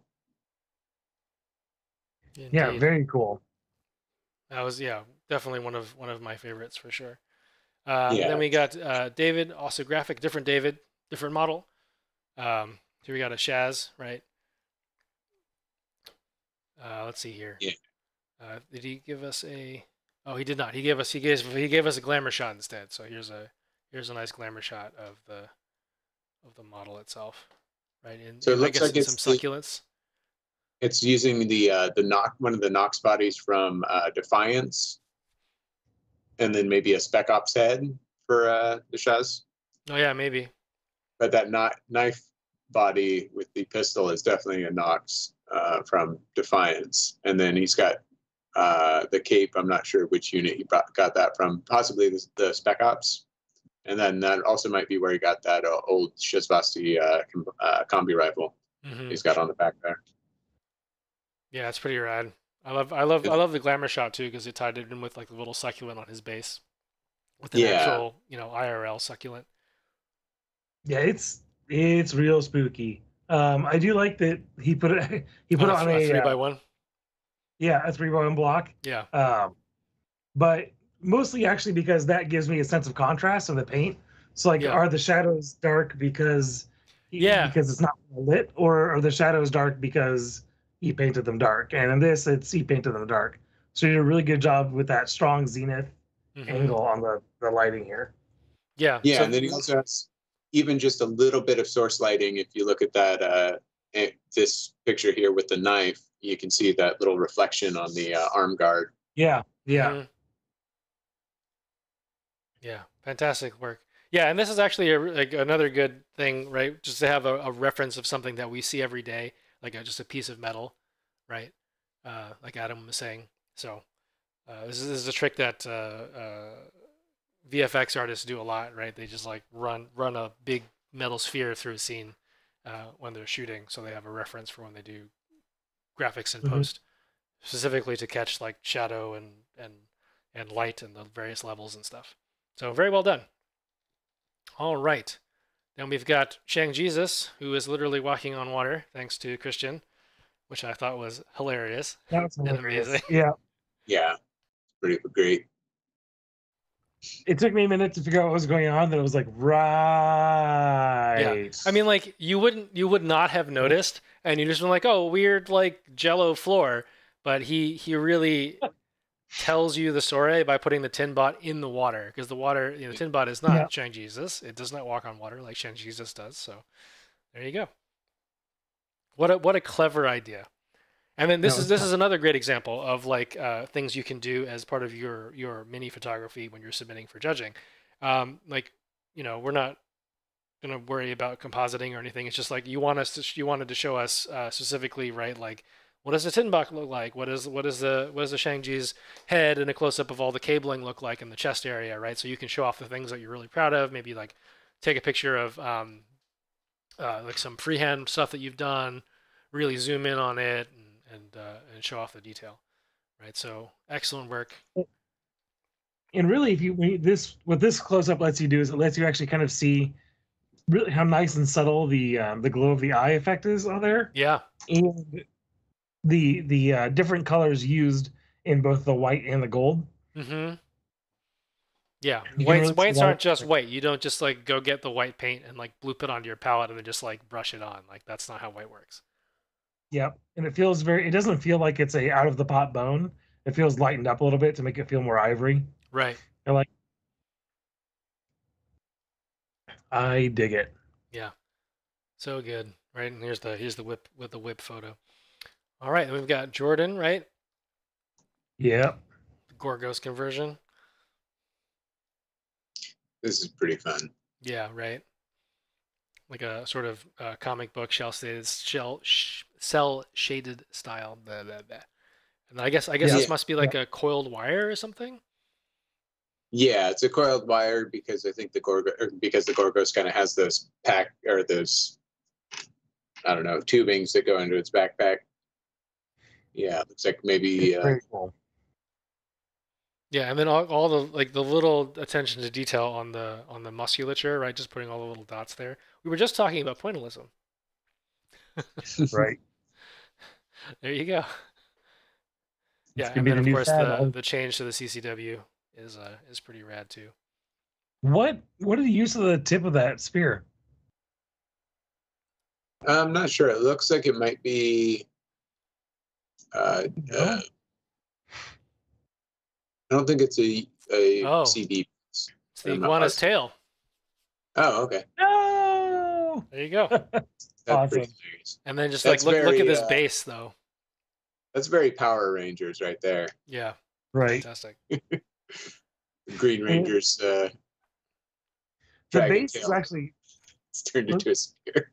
the base is a really fun touch. Yeah, How it's flat and then painted like the Mhm. backdrop. Yeah, that's really cool. I like that a lot. I mean, just like the the the very obvious like comic book highlight on all the various curls of the the wire thing, right? That's pretty awesome too. Mhm. Yeah. It's really hard to pull this off. You did a really good job. It looks awesome. Well done. All right. Oop. And then finally, we had somebody send in a bunch of uh, Zhanshi. They didn't get a chance to paint them, but they wanted to show off their conversion. So here you go. Thanks to Nice. KGG for sending those in. All right. And without further ado, uh, let's talk about who took it away. So our it was actually a very close thing. Um, our judges uh, had a lot of trouble deciding who was first, but winning with one additional vote was David, Yeah. aka Shingen, with his uh, de Fersen conversion. So congratulations Oh, to. David. Uh, it was obviously, as you could tell, a very tough field this time around. Uh, there was a three-way tie until the last couple of votes came in, uh, and and David walked away with the uh, with the number one slot. So I'll get in Yeah. touch with you, and we can talk about uh, what you want for Montrose makings, and also what blister you want. Uh, and then now we're gonna spin the wheel of names to see who who gets to uh, get a blister from Corvus Belli. So let's let's do this thing. Yeah, exactly, Chad diversion. All right, here we go. Names. Who's gonna get it? Who's it gonna be? It's a beautiful paint job on that guy. All right, it's gonna be Matt Matty McFly. Congratulations, Yay! getting the wheel of names one. Congratulations. Yeah. So thank you everybody who submitted stuff for the competition. Um, fantastic work across the board. Uh, yeah, I'm I'm really grateful that uh, you know you you do all this work and let me sit on it for a quarter and then we get to share it with the world, talk about it on stream. Right. It's it's really fun to sort of geek out about painting and not just uh, the you know the gaming aspect and, and tactics and strategy aspect, but talk about the hobby aspect uh, with um, Adam and, and all, all of our, our guests that have done it with us. So thank you, Adam and Obi, for hanging out. But yeah, that's it for Bromad Academy right now. Now we can we can talk about the the real reason we're here. Put on your jackets. It's gonna get chilly. It's time for season road. Or season road. Wow. Season yes. 13. I don't even know. Hashtag winning. For the pitch, and it just fell right on the face. Yeah, Yeah. right. Like this is just. We start the whole episode over. Just begin. Gotcha. Edit that out, Jon. Yeah, right. yeah, just- right. Get on that. it. We definitely need a five second delay, not for profanity, but for stupidity. Yeah, right. just just bleep bleep out your your mistake. So it looks like you're swearing and you look cool. Oh, there we go. Nice. Right. Adam, I guess uh, you'll just have to let it go. You Oh no. know? Okay. So season 13 is here. Hooray! Yay. we did it. We're finally here. Version 0.0 of Frozen Roads. I noticed that on the front page. I was like, really? 0.0? Yep. Um, there are some pretty cool things in here. It's it's absolutely going to mix up the meta. So let's uh, let's maybe start a little bit from the beginning. Did the tournament cho- point calculation change? Is that what I'm seeing here? It did. It did. did. Ah, the gasp. The gasp Yeah. indeed. So how's it work now? Well, So uh, we changed. Uh, uh, so the, Alright, the, so- the big thing is ties are now worth two. Okay. uh, victories also uh, went up as well. So victory is now four points where it used to be three. Yep. Uh, Interesting. but I, I think it was the main change is that it used to be that a Uh, the best tie that you could get would be equal to a high scoring, close loss. Oh, sure, Uh, sure, so sure. They've, they've changed that up just so that uh, that tie is worth a little bit more. So it actually kind of get it kind of uh, takes down submarining just a little bit, A little, yeah. right? Yeah. Because a, a loss is you cannot get a loss that counts as much as a as a low win anymore. Or a low tie. A low tie, sorry, yeah. Yeah. So actually I think that I mean that's a small change, but it's good and it's interesting to me because what this shows me is that they're paying attention to the math. Yeah. Right. They're looking at the math, they're looking at the outcomes and you know, and maybe you know, maybe visualizing it and seeing it where they'd be like, huh, we're getting a lot of people with ties that are actually end up placing higher in the tournaments because or losses than they're placing higher in the tournaments. Well, it used to be. I mean, even in a a, a low scoring game where you lost, used to be as much as you know you could get a, as much as a tie because it used to only be that you know uh, Yeah. As long as you were within two points of your opponent, you still got one point, which is as much as a tie gave you. Oh, true, true, true. Yeah.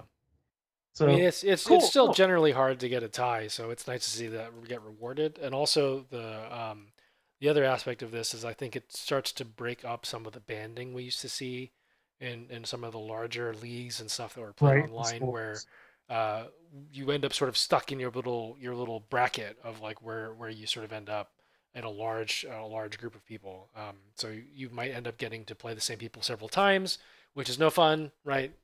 Um, so uh, being able to sort of increase the spread between people as they get more victories or or even ties now helps a lot. So that's cool. yeah, that's a again, it's it's a small change, but it again it shows it shows they're paying attention, which Yeah. is what I really like. So a few other things. They've added some more uh, modes, I believe. So I'm trying to find that now. But yeah, so uh, Obi, you were saying that they found they got a, a new um, combined deck mode. So that was actually a holdover from last season as well. oh, was it? Okay, never mind. Uh, yeah, I think it's Yeah. just you know some of the stuff uh, reading through it, I was like, oh wow, this is cool, and then I was like looking back at the old document, I'm like, oh, Oh, it's yeah, just I there you haven't- go. Well, playing clearly, clearly we games. never used it because we just went straight to red deck. That was that was the big thing. Yeah, right. Like, oh, half of the deck is too easy, Right. right? Stick with the correct deck. I mean, there's the there's the training wheels deck, and then there's the the actual deck. Right. It's fine. Yeah. Although although there is room to you know maybe explore some other spaces with the with the red deck. Right. We've talked about this before. How you know instead of like do the thing twice, maybe do there's some more interesting way you can make it more difficult.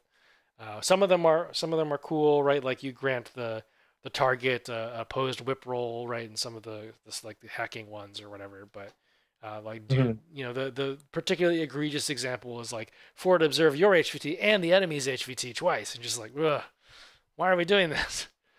So nobody Right. wants to take that one. It's like I guess I guess you meant secure the HVT once. Cool, I'll do that. But Well, so shall we get into the the rules that everyone's excited about? The the season special rules. yeah, let's do it. So first up is tactical ride. This one, this is amazing. So basically, all motorcycles are getting super awesome. Everyone's on snowmobiles now.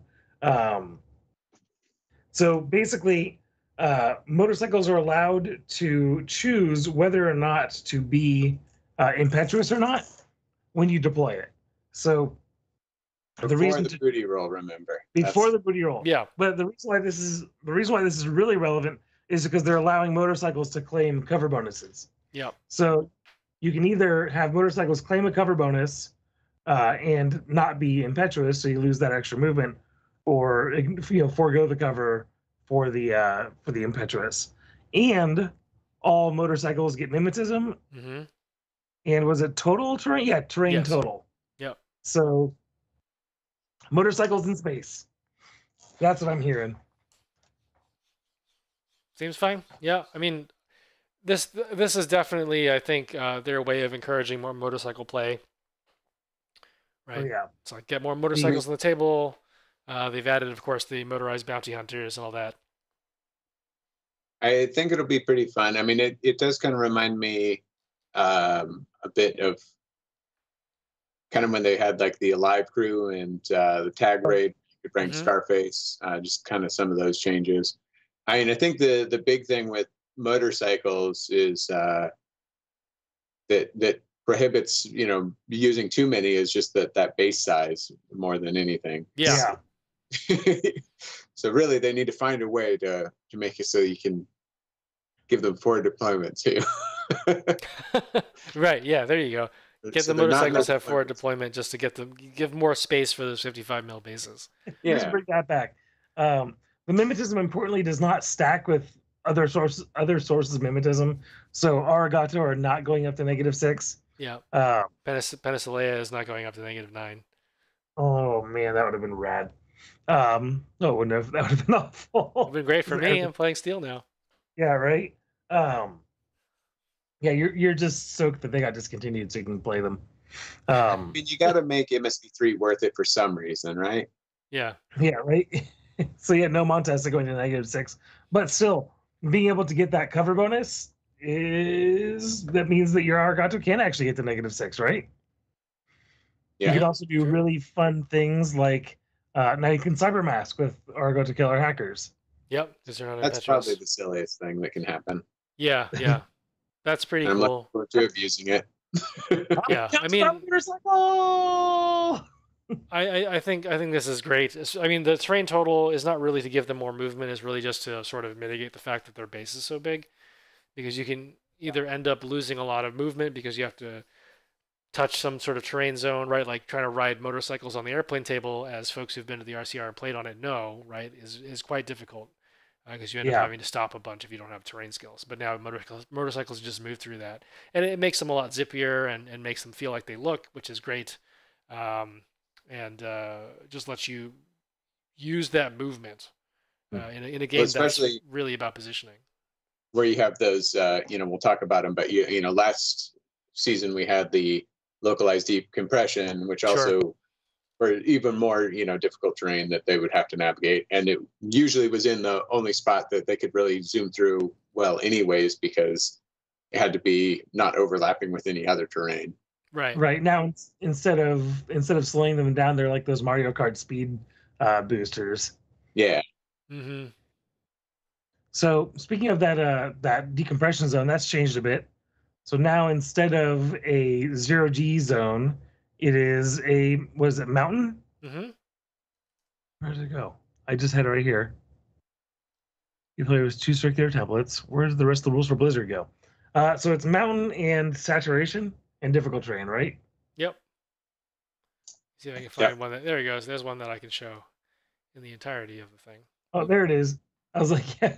I was like, the screenshot we have cut off the last sentence. Yeah. Um, So yeah, So, yeah. you're basically just changing that mountain from uh, to, To a, mountain uh, from zero G. yeah. and that's cool because now there are things that can use their mountain terrain rule. cough Merovingia, cough. Um, where, what is that? Like metros and briscards. Uh, it's Metros. I think metros have Bris, mountain. Briscards definitely have it. I'm not sure about Metros. I'll check really quickly. I think Um, metros do because uh, yeah, yeah. Yeah, uh, Joe total. and I was talking about how. It's uh how awesome. terrain total for Metros. okay. Those jerks.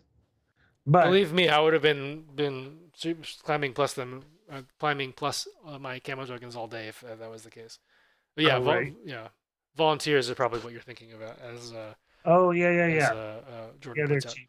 Um, yeah. So honestly, like I I approve, I applaud uh, that CV is trying to encourage more terrain interactions, but it really isn't going to do a huge amount. And really, what it like, I'm I'm I wasn't a fan of the localized decompression. A because it's a rule that people always forget.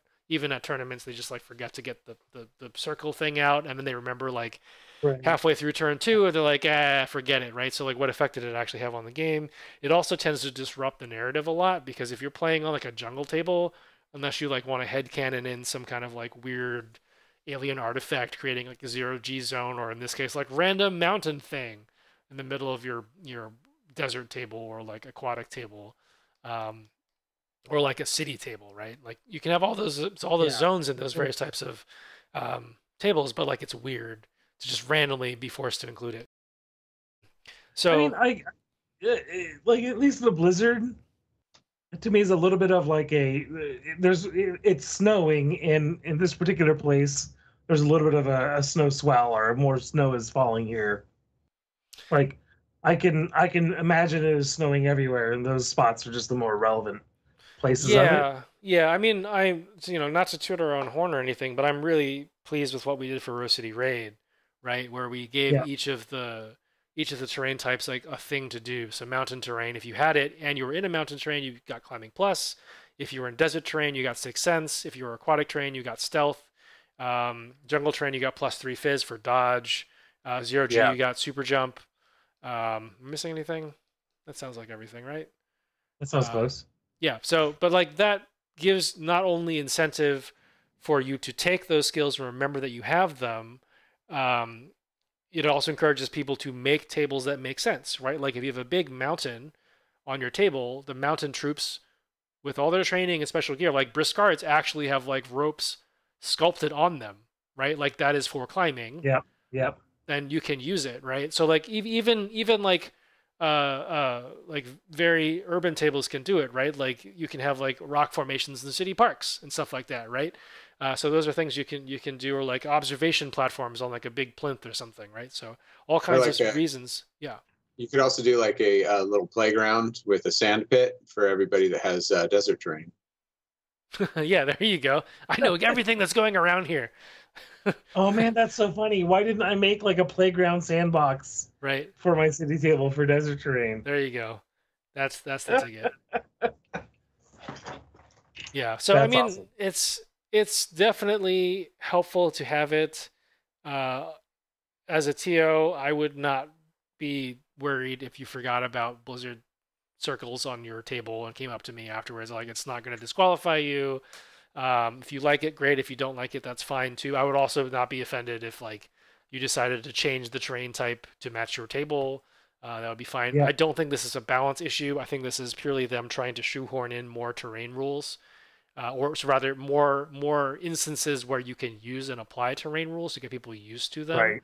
because a lot of people don't play with it. Like we play with them all the time. We often forget uh, between games, right? Like how or like as we as we iterate through the tables, we have some don't have a lot of terrain zones and they have terrain types instead, right? Like you- you're not going to move through this patch of trees because it's like a little tree on a 40 mil, mil base, but that generates low vis and saturation. It's not like a whole zone that you can physically move through, and you have to pay attention to difficult terrain rules then. Um, so yeah, I mean, like it's it's fine. There's definitely more ways they can make us engage with it, and it, just the movement bonuses and stuff are are generally small enough not to really make a difference. I mean, like obviously an inch will matter in some games. You know, you'll you'll make it to the objective or you won't. Um, but I, I feel like there's definitely stuff you could do, and and the list that we gave for the various upgrades to the different terrain types. Um, you know, they, they there's absolutely uh, room to for debate as to whether or not they're balanced, uh, but at least they're interesting. Um, yeah, the, Yeah. to answer the question, uh, the blizzards don't move. That would be neat to do, right? Have like mobile blizzards and stuff. That would be cool, right? Like if you had a moving zone of extreme cold or something, right? That you had to avoid. Things like that would be neat. Um, but yeah, Even just a slow. got got just a little bit of soapbox situation talking about terrain and how they could do better. But uh, it's it's uh, a, a a reasonable Well, thing. I guess the other thing is that does this make it better or worse than like when they had those missions where a, a the exclusion zone was a saturation and difficult terrain or things like that. Right. Oh right, like the old rescue where you're just like, why? Yeah. You're like, oh, I hit a wall when I was trying to get these guys. No, this is way better because those were so hard to visualize on the table Yeah, that I feel like they got used even less. Yeah, Yeah. good, good rescue, says Puma Drift Cat. it was it was punishing, that's for sure. And in this crowd, punishing means good, so I agree. Uh, but yeah, definitely hard to like that would that would be a tough like trying to teach rescue to a new player is difficult. This is a much easier uh, thing to explain to a new player. Like this is a zone, it does stuff. Um, I I do Right. like that it's saturation. I think that's really good because it does teach you to leverage saturation in certain ways, right? Like that can let you do crazy things like split burst against a link team in ARO, which you would never really want to do, right? So you shoot at two members of the link on one die each. Everybody's on a die. Um, that's worthwhile, right? In some in some scenarios where you find that would be good. That you never want to do that in like a non-saturation case, right? Because then it's their two dice versus your one. That's bad. Um, but uh, yeah, so I, I, I think it's a good teaching tool. It's a good way to sort of like encourage people to add terrain to their their board. Uh, I think I think we all agree, at least you know in this group uh, that's on the show tonight, that it's the the goal of it is good, right? We all want more terrain and more terrain rules and ways to interact with cool terrain pieces. Uh, I just I think we would have executed it differently. Um, but anyway, yeah, that's Fair. that's that's that for that. Um, they have added uh, an actual bit of interactive terrain though, in the form of a turret. That's right. This is this is awesome. yeah, I'm just trying to find the thing that will fit on one page. Yeah. Oh, so sure, sure. they basically added a. Uh, here we go. That'll that'll do. Yeah, perfect. So there you go. There's the there's the turret and its stats. So effectively, you each get a, a turret which is uh, silhouette one, one structure, arm two, BTS three, close combat five, BS ten. It's got a combi rifle, um, para CCW at minus three, 360 visor, and it has a total reaction combi rifle attached to it. So it's a little, it's literally what it says on the box. It's a defensive turret, classification Foxtrot 13.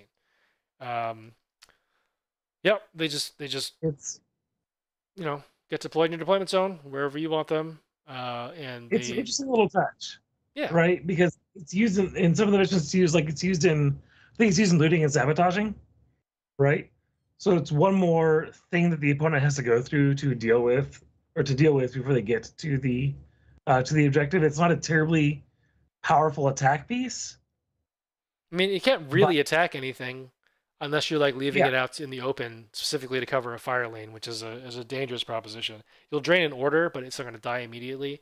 Um, I I see this as their um, attempt at mitigating the bikes because now bikes are not hampered by terrain. Uh, they are easier to move. They gain cover from things. Are easier to move because of the, the terrain skills, right? Not having to slow down. So it's harder to speed bump bikes by by including like area terrain on your table.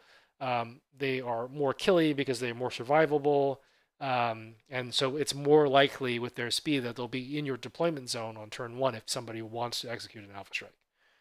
Um, so yeah, just I a mean, way they're of not, helping they're not great, great shooters, but it's definitely not something that you want to just have shooting at you. yeah, Uh, like Mhm. I've one of my most deadly uh, games was when I had a Keisotsu out just out in the open, basically behind cover eh, that my opponent did not want to have to deal with to get to my other stuff, and it was just everything that he moved up to try and shoot something else. The Keisotsu was taking him out. Yeah, right. It's like here's here's a here's a shot on seven because you are outside of sixteen, sir. And he's like, yeah, you'll miss. yeah, crit. and then it just hits. yeah, and and uh, Like- bikes don't really have the generally have the armor to uh, to take a hit. Yeah. Yeah, it's a it- it's a fine little addition. I think. I'm sure someone will complain about it, but it's. I like that it's it's it's a little bit of a speed bump in a season where speed is greatly um, uh, encouraged. Um, Jordan points out that there's this little clause here, um, which specifically says, "Oops," specifically says that uh, you must place it before the deployment phase. Right, right, right, right. That's important. So there's that, So which is pretty pretty relevant. Um, and also, uh, I bel I would imagine you can place this in cover, right? It has nothing to say that you can't do Yeah. that.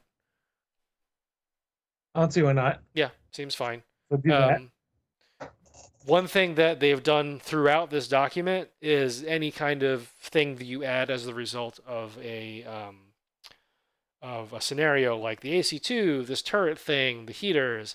If you reduce it to structure zero, it gets removed from the table. That's you're done, right? You don't have to take it down to negative one like you did in previous seasons.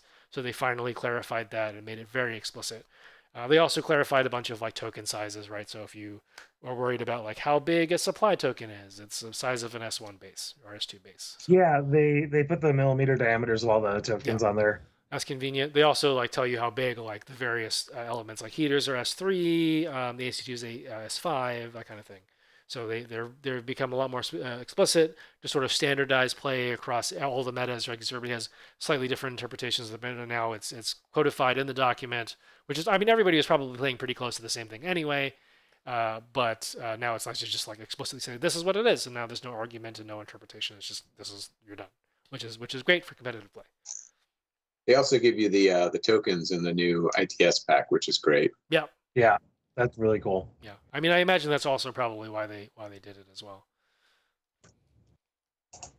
Neat. So, with the uh, let's see here, after the automated defense system, or what is it? The uh, the defensive turret, um, Antarctic territory. This is something that Carlos maybe slightly overstated in the video. Not every single table uh, has the rule that they count as uh, the the Arctic terrain, but some of the missions do.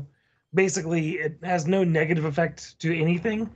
It is just that if you have terrain total terrain mountain climbing or climbing plus you get plus one to your first movement skill like that's that's all Yeah. um it's not huge but what it does mean is like movement seven four bear pods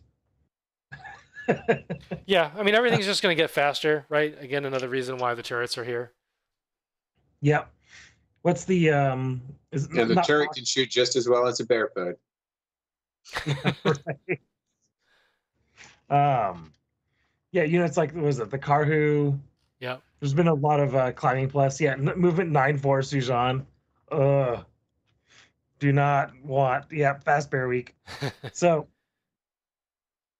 and then the last one is the the automated uh, defense system, which I think is only the AC2 and the heater. And the heater. So AC2s and the heaters uh, can punch you back. So basically, it's a face-to-face roll, um, even if Berserk is used. Yep. So With it no cancels mod- it cancels Berserk, which is which is fun. Also, uh, you don't get any um, you don't get any martial arts because it You also don't get immunity total when it hits you. Yeah. So that's that's Like- fun too. Uh, so you can actually you actually do get stunned. Uh, I mean, it's only CC8, so you're probably okay. Probably. Uh, but you know, you do have to you have to do worry about it. Um, I I guess if you're not rolling a CC attack and you just plant D charges, you're safe. Would be my interpretation. From the way it's written, yes, um, which is kind Oh, of silly. Okay, I was a little bit worried about that. I was like, wait a minute. So now your D-charge units. So really, what it does is it, it doesn't affect D-charge units, which are were uh, by and large fine, but it just prevents things like McMurrough, or it Yeah. slows down McMurrough a little bit. Yeah, they just have poor wiring. You you chop into it and you get a you get a nice little shock. And even McMurrough is not not immune to like the T Rex fence in Jurassic Park. Yeah, there you go. Um, so, but that's that's fine. At first, I was a little bit worried that it would affect planting D-charges, but I don't see why it would. Um, It does say it's when you know when it's attacked, and that's not an attack label. So I don't Yeah. think so. Yeah, and like a lot of things really a lot of armies relied on bad cc units with D-charges to get the job done anyways so Mhm. this just kind of i feel like this evens the uh the playing field a little bit Yeah, definitely. Um, one last thing is there's of course the bike recon rule where some some missions just give you a free bike. Doesn't cost you anything. right. No points, no SWIC. It doesn't count towards. You can have an 11, 11 model combat group as a result. Uh, and you can have a 16 model list if you want. Um, and it gets specialist operative basically. Is what it boils down right so go get that bounty hunter because you're going to need it in some of the missions Uh, Aaron says that you know I feel like the turret is more to disrupt impersonators, which is a key trait of a lot of the better performing armies.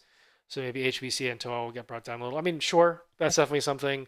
Um, I don't think it's any more disruptive to an impersonator than somebody with a chain rifle, right? I mean, it's like you're gonna get shot either way. Uh, it's just it's just an extra dude with a chain rifle if you think about it that way. Um, it's I guess it can discover stuff, maybe. I'm not, Defensive turrets sure. are deployable weapons reacting with BS attack or CC attack to any order declared by an active enemy model, but not markers in LF or Silo content. So they can't discover, That's Correct. would be my interpretation. So I guess, yeah, it doesn't really help you, right? Because if they if they could discover, that's pretty great, right? Like a free discover wandering around.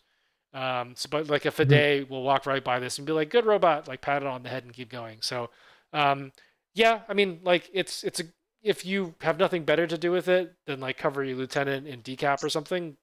Well, Sure. the other thing is you're also deploying them before uh, you deploy the rest of your army. Yeah, So you're not really able to counter. Like it's it's something that you would have to put up with the idea that you're going to put their your lieutenant there because you expect that they have a impersonator. yeah, So I mean, it, it it can. I mean, it's one of those things that it can force them to have to trade a little bit more. But um, I don't know. I think it's it's more difficult to set up than than just putting down somebody with the chain rifle as as your reserve drop. Yeah, I mean, I think I think really, if you're if you're looking for a a, a direct mappable like this is the threat, this is the answer, I think it's great for AD troops, right? Yeah. So like you just you're just like you can't be here. Like even McMurrough, I'm, I'm sorry, not McMurrough. Uh, Duroc has to respect this, right? Yeah. Like, you're just gonna get shot on 13s. You might fail two saves if you get shot three times. Even shot on sevens is not something you know. He's only got two wounds. Um, and you know, taking one of those wounds, suddenly you're you're not as confident running through that area where somebody's got a chain rifle. Yeah. Jeez. I yeah, mean- if you're playing against Ariadna com- uh, combined or nomads, just to play this on your back table edges. Yeah. Fine. Uh, so so Aaron continues to say that uh, somebody who plays a lot of bikes, you know, she doesn't think that the turret is going to disrupt bikes a lot. I agree. Like it's not going to stop a bike. It's going to cost the bike orders. Like you can't just you can't just roll Yeah. a bike through there unless it's an Aragoto killer hacker in cybermask mode, right? But like if you roll a Spit Aragoto Spitfire or Kuroshi Rider through there, let's say, like you're going to get shot. You will probably kill the turret in one order, but that's one order you spent like not maybe not using all of the bike's movement because you want to retain that cover bonus to shoot at this thing, and you may like have a have a situation where like the dice don't go in your favor, you pass the arm save, now have to shoot again. Like that's what its point is. It's not it's not to disrupt or completely stop something, right? Just like a TR bot is not supposed to completely stop something. It often happens that a TR bot like will stop an attack. Uh, but that's not its purpose. Its purpose is to drain like one to two orders maybe, and having a free, like literally zero cost option that you can just place in a place that you know a bike is going to come down is a place you don't have to place a chain rifle. So you can like so you can uh, put it, that chain rifle that you would use to respond to say a Fiday, right? So you can think of it as like a second order effect. Like uh, I I'm facing Islam, right, and I expect Fidays. I'm gonna, and- but I also expect Kum bikers. So I'm going to put this turret somewhere where I know Kumbiker might zoom down from the other side of the table to defend this like approach lane um, against a bike, and then I can take my chain rifle that I was going to have to ask to do double duty, defend against the Kumbiker and a Fiday. Now I can say like your only job is to respond to the Fiday, and I can like set up my deployment that way. So it's it's not like none of these things are hard stops. It's more of a an extra tool to help you shape your deployment zone in an advantageous way for you that's free, and I think that's that's great. It's also to encourage you to take those uh, total reaction baggage bots, so Yeah. you can have all of the uh, the automated turrets in your Right. deployment zone. I mean, maybe maybe this is their cheeky way. Like, we're gonna straight up upgrade bikes, guys. Bikes are really good now. Uh, you know, here's a little tool to help you deal with that. And nudge, nudge, wink, wink. You also have that tool available to you all the time once the season is over. It's just on a much larger base and it costs points. Right, maybe. And the thing, like they did that with, um, well, I mean, everyone already has the the the TR bot combi that nobody takes. Um, I, mean, I I take it, but I'm weird. Yes. do you? I've never. I don't Yeah. think I've ever seen the We- combi we- bot. I, I, I can absolutely point to battle reports where I've taken it. it. I take it primarily in area control missions where the baggage is relevant. Um, okay. and Okay. uh, and its range bands are relevant because if it's pushing to the midfield, then the combi range band is quite good. And then of course you have um, uh, the uh, what should we call it? Um, Well, I mean, the other thing too is like if it, uh, you know, if bikes get too disruptive, maybe they'll uh, they'll do a season where you they upgrade remotes. So, Yep. I actually found a pretty cool model for mine online. And It's kind of hard to see in this picture, but it's just a neat little like four wheeler thing with a big, like a big yeah, machine I'm gun. on- building it. I'll make you really big. One second. Gotta find. There we go. Boom. There we go. uh, Yeah. Totally out of focus. Wonderful. Yep, we're doing it. High quality content. doing it live. It's the best we can do. It's But- also good for the podcast. Yes. Yeah, also right, great for yeah, the video podcast. So just just long silence as we rotate this out of focus model in front of the camera. You're welcome, everybody. I hope Oh, your drive to work has been pleasant. okay, so let's let's maybe uh talk a little bit about um where some of these missions are used, or where some of these rules are used in the missions. How's the Heineken treating you? Do we want to just One, I don't know. It's because I didn't have a beer for lunch. I didn't. I didn't warm Ah. up. just Just- I'm coming in dry. Um, Uh, do we want to mention before that that uh we we lost safe area, you know, RIP, but we did gain frostbite. We did gain frostbite. worth it. yeah, It is back and better than ever. Definitely worth, it. it.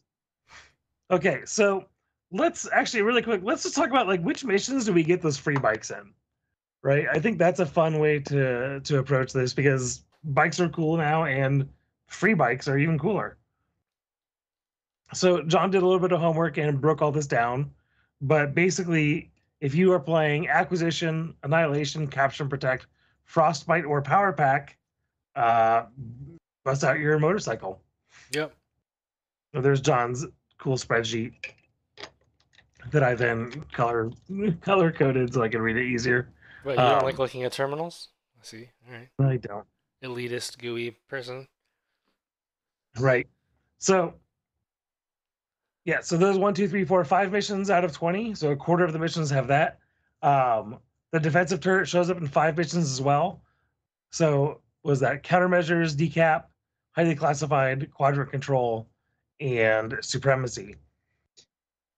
That unfortunately means that you never receive both a free turret and a free motorcycle. You got to limit the free things, you know, otherwise people start expecting them. Right. No, Um, the uh, the really interesting thing is to me is that um, in some ways it makes like the the highly classified and countermeasures.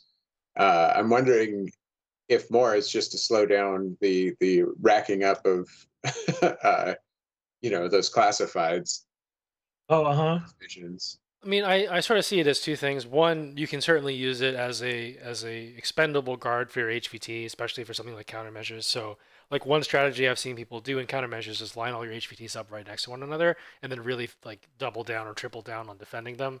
Um, that can go very south if your opponent has a, a thing that can do multiple HVT objectives and they have a smoke source or an eclipse smoke source, um, which I have done to people. Uh, so that's a thing you need to worry about. Uh, but having a turret covering them is great. Uh, also, I think I, I personally I would approach that as more of a. Um, some people will take the strategy in countermeasures or or highly classified. Uh, they are they are resource intensive missions in terms of like getting stuff to places and like spending orders, trying things.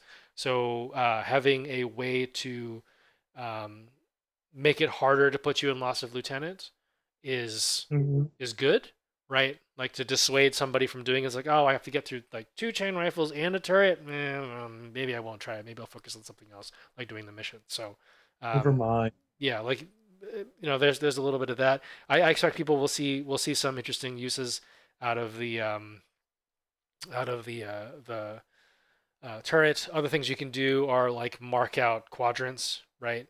So like in quadrant control, you can mark the center line of the table, right? Mhm. uh, which is helpful too. So you can know whether you're in the left or right quadrant. Yeah, I guess I'll do the mission instead.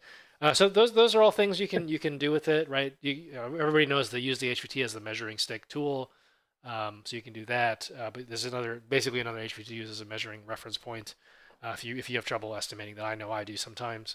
Uh, but also just like defending key parts, or you know, uh, another thing is like some some uh, some some units like uh, antipode controller or the the puppet master, right, could use a little bit of extra backup um, to prevent the, those things from going offline. Um, so yeah, just like, just like little things like that seem seem helpful. Yeah, and then the uh, the terrain rules, right? So we never have both blizzards and the Antarctic Antarctic territory on the same mission. Mhm. So we're gonna drop those blizzard zones in annihilation, countermeasures, decap, firefight, and frostbite. Yay, frostbite! Just every time I see that, I just want to say yay, frostbite. Hmm. Um, and then the full table effects are going to be in frontline, highly classified looting and sabotaging, quadrant control, and the armory. So some interesting things here is that frontline looting and sabotaging, quadrant control, and the armory. So everything but highly classified on there is a uh, a zone control mission. So this is going to speed up units Yeah. in the missions where getting to places is important. I mean, looting and sabotage isn't much of an area of control. I mean, sure, but it is very much a mobility mission. You need to get there, so that, Yeah. that helps. For I sure. mean, being faster. Yeah. Yeah. yeah. Um, so being able to d- deliver your D-charge potentially a little bit quicker is cool. But I mean, it could even be a half an order quicker, which is a big deal, right? Because if it, it could be the difference between having to um, spend another order or being able to move and D-charge. Yeah, I mean, also, how many times have you had like one swing on something, right? And you like if you had had another half order, you could have you could have swung twice. So Yeah. that could be the difference between victory and defeat, right? Those are those are very real things. But yeah, I mean, I again not a huge fan of the the terrain options here, uh, but I mean it's fine. It's not it's not it's not game breaking. It's not uh, not a big deal either way. Uh, they're trying stuff out, so uh, let them collect their data. Uh, I think I think the best thing we can do as a community about it is if you love it, let them know. If you hate it, let them know. Um, if you are ambivalent, let them know that too. Like a lot of times, the the, the silent majority is like it's fine, and they, they should know that. So uh, like one of the things that um, we've sort of talked with Coney about um, is like in in the current era where there aren't very many in-person ITS tournaments, which is a lot of the way they get data back from the community, they they don't have that now. So it'd be good to let Yeah. them know and be more vocal and and uh, in a in a polite way, of course, but uh, you know just give them some feedback on what you what you think. I mean, if I can't shout at them on the forums, I just don't know what life is all about. You know? Yeah, right. It's uh it's it's a hard time. I mean, Um, that's how we got crits changed. Okay, so I think if I yell loud enough, I can get whatever I want. it would have been really cool if I mean, it worked for the It would've Unknown been really- Ranger, so I mean, right exactly Just yell more Yeah. um no it would have been really cool if i remember a couple seasons ago they had blast templates neoprene blast templates in the swag bags and it would have been really cool if they made neoprene blizzard templates right. to, to use all right so now let's talk about maybe some of the more uh, specific mission changes right some mission oh, some missions have a rule called snow ops which is just a a silly new way of saying uh, data tracker Yeah, it's specifically for frostbite. We can get into that in a moment. Yeah. So I guess I mean Yeah. we've already talked about all the stuff that is is has changed mission to mission. Uh, I mean we can we can probably you guys can read right like. Uh, Yeah. We, we don't need to go through like hey, acquisition and annihilation have the same scoring like they're the same mission you just now have to deal with some some either bikes or terrain zones so let's let's let's spend a little more extra time maybe talking about things like um like frostbite which has changed a lot actually yeah so, I yeah talking about the changes i think is very good. yeah. So frostbite is is is a pretty pretty big set of deltas. So let's go take a look at frostbite really quick. Uh, let's pull up my. There we go. All right. So um, it looks the same, ish. Right. It so looks the same. so uh, murdering read- more army points is still three points. Dominating the Yep. exclusion zone is still is a bunch of points, three points, right? Having at least one heating unit is a point, and now you have three classified objectives. right? that's nuts So it used to be it used to be kill the data tracker for data tracker data tracker for two points, and have Yeah. and then one classified. So they've gotten rid of kill the data tracker, which is now called the the snow ops, um, and and now they've changed it to just straight up three classifieds, which which turns it more from uh, a straight up killing mission. Uh, right, because you can you can just secure the HVT there and and just you know run around with your data tracker and do stuff, uh, kill things with it maybe. Um, and now it's turned it into sort of like killy plus a bunch of potential uh, uh, specialist play. So the other huge thing that's changed is that in the uh, when you dominate the the zone of control, it's no longer the um, uh, the uh, having a data tracker in the zone. It's having more points in the zone right which is not what it used to be. It used to be like if you you were the only data tracker in the exclusion zone, you dominated, you got all those points. Now it's you have to have actually more army points in there. Um, so that's that's a huge change. Uh, and so part of the problem with that is, like, say, I, I recently played um, Frostbite with Merovingia, and uh, Merovingia has a hard time because a lot of their stuff just straight up dies in Killer Cold. So, you know, what are you gonna do? I, I I don't want to field a million Moblots. I mean, like, I like Moblots, but I don't like them that much. So, uh, like, what do I do with that? I guess I could take an Anaconda, but that's kind of skewing my list one way or the other. So, what they've actually done to help um, to help out with that is Killer Cold now only uh, not uh, applies to heavy infantry, remote, and tag. So the remotes are now immune to the cold, which is a which is a big change. Um, so you know that that definitely helps out folks with tractor mules like Ariadna, right? So uh, now you don't necessarily have to have a tag because a lot of Ari- Ariadna factions don't have tags. Um, so you can have your heavy infantry in there and your tractor mules, and uh, if you bring a tag, you can do that too. Of course, the snow ops uh, trooper uh, gets to be immune to the cold as well. Um, they also get their irregular special order. It's called the Snow Ops Special Order or whatever now. It's it's the data tracker order we're all used to. Uh, the key difference now is I believe the Snow Ops guy can't push the button anymore. So it used to be that Yeah, the data tracker no longer specialists. yeah, so the data tracker used to be able to push the button, turn on the heater. Uh, the Snow Ops guy is too busy buttoning up their parka to to do that. So um, you you cannot push the button anymore, which is a big deal. I was going to say too. I mean, with something like Merovingia, you could bring Anaconda and make uh, Wolfgang duo with it and uh, Sure. be your Snow Ops, and then. So I think that that is kind of fun because it allows you to take maybe one or two of those units that are part of a link or uh, you know that you would want to advance further up the table and uh, make them snow up so that they're not you know just dying from Yeah. from exposure. Yeah, that's absolutely true. Those are things you can do for sure. Um, and Merovingi has access to Moblots and stuff, so they're they're fine. It's just you you end up having to skew your list a little bit, especially now. Before I could like throw just one trooper in there or like you know one one you know, one uh, tag or something. Now it's different. Uh, this opens up a lot of other play too, right? So Mhm.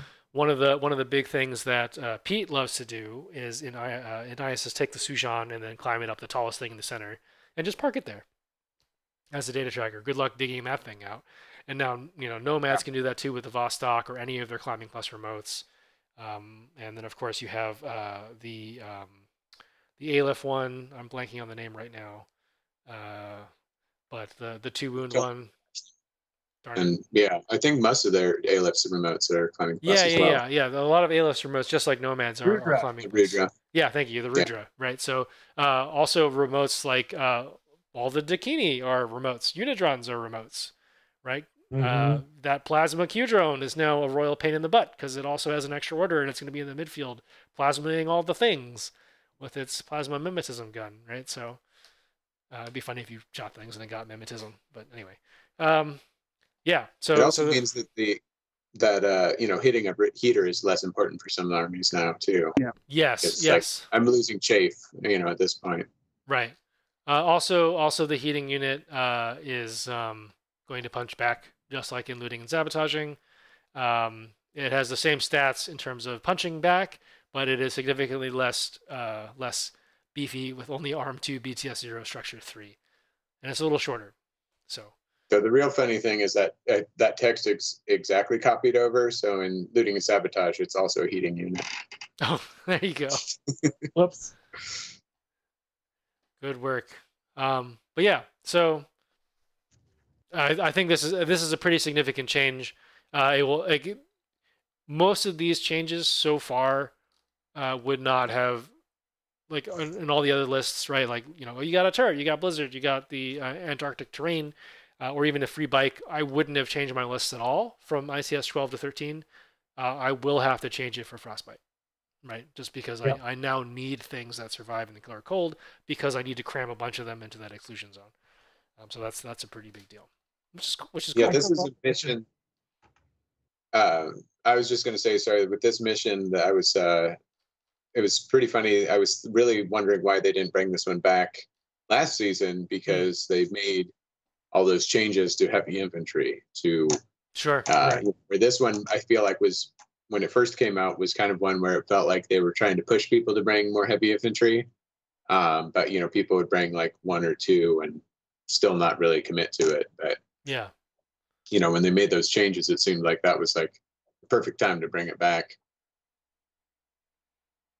I mean, now now they're definitely encouraging heavy infantry, right? Like I want to bring my my uh, IA pain train and just like jam it in the middle and be like, all right, dig this out. Good luck. Guys, why why decide at all? Just take the Knight of Montesa. sure. There you go. now you have all the things. I mean, I get, I still get a little sad thinking about bringing Tohaa because uh, as soon as they lose a couple wounds, then they're no longer heavy infantry and they just die in the cold. wah, wah. It's so cold without my meat suit. Yeah, yeah. you got to Yeah, wear your meat right. dress. Uh, ISS is happy. Wu Ming with the Zhanyang. Take the Zhanyang as a snow op so it can survive. That's pretty good. Yeah, all kinds of all kinds of fun stuff. But yeah, Frostbite has changed in a in a big way. Uh, you know, I, I we've obviously been thinking a lot about Frostbite because we included it in Red uh, City Raid. Um, I'm glad to see it come back with a pretty significant change because now now it's more of um, i- it's more of a like a nuanced positional thing and you have to like also pay attention to your classifieds. There's a lot going on before. In the original Frostbite, uh, it was sort of like, all right, go murder their data tracker, and then just like sort of play a very cagey game where you don't expose any points for them to kill on your on their turn, and then you know chip away what they leave exposed on their turn. And the end of the game, you just like advance your data tracker into the middle in some sort of safe fashion, or leave it there on a building got climbing plus. Then you're done, right? So it can be kind of non-interactive. Um, but this is this forces like engagement in the center, which is a which is a big deal. Yeah. So yeah, I mean, kind- like this this will definitely show up in next year's RCR, right? Because it's it's gonna really affect the list. So I'll just say that right now. Uh, you you have a whole year to convince us otherwise. How's that? The thing that I like about it is it's like a reverse panic room. Right. You're like, go into the the death area. Just everybody go in there. You need points. Take the zone. Awesome. And there are now three missions that kill you, so that's also fun. Yeah. Also true. That would be that would be fun. You can you can play a, a tournament of the table is against you. Yep. Yeah. People hates you. Um, let's see what else. Oh, another big change uh, is frontline, right? So frontline Yeah, has changed. It so- looks it looks pretty innocuous. You look at it and you're like, oh, the main objectives are the same: dominate near, center, and far, right? So near, mid, far, and then you're like, oh, great, and you keep reading. You're like, wait, four classifieds? And so what they've done is it used to be um, two points for the near, three for mid, four for far zone, right? So just for those of you who have never seen frontline before, uh, you divide the, the middle of the table up into three zones. You're near, you're middle, you're far. Your opponent has the opposite, uh, and then you want to control the far one and the near one. Basically, generally that's how it works. Uh, and you can fight over the middle if you need to. Uh, but basically, they changed it so that uh, the the zones are worth less points, and now you have classifieds to deal with. And so Four classified. yeah, four classifieds is a is a is a big deal. Yeah. So if you if you want to hear uh, Clint's rendition of it, uh, you can definitely uh, ping him on Discord, and I'm sure he'll record some some recorded audio for you there, uh, wherever you are. Um, yeah. So I think this is awesome.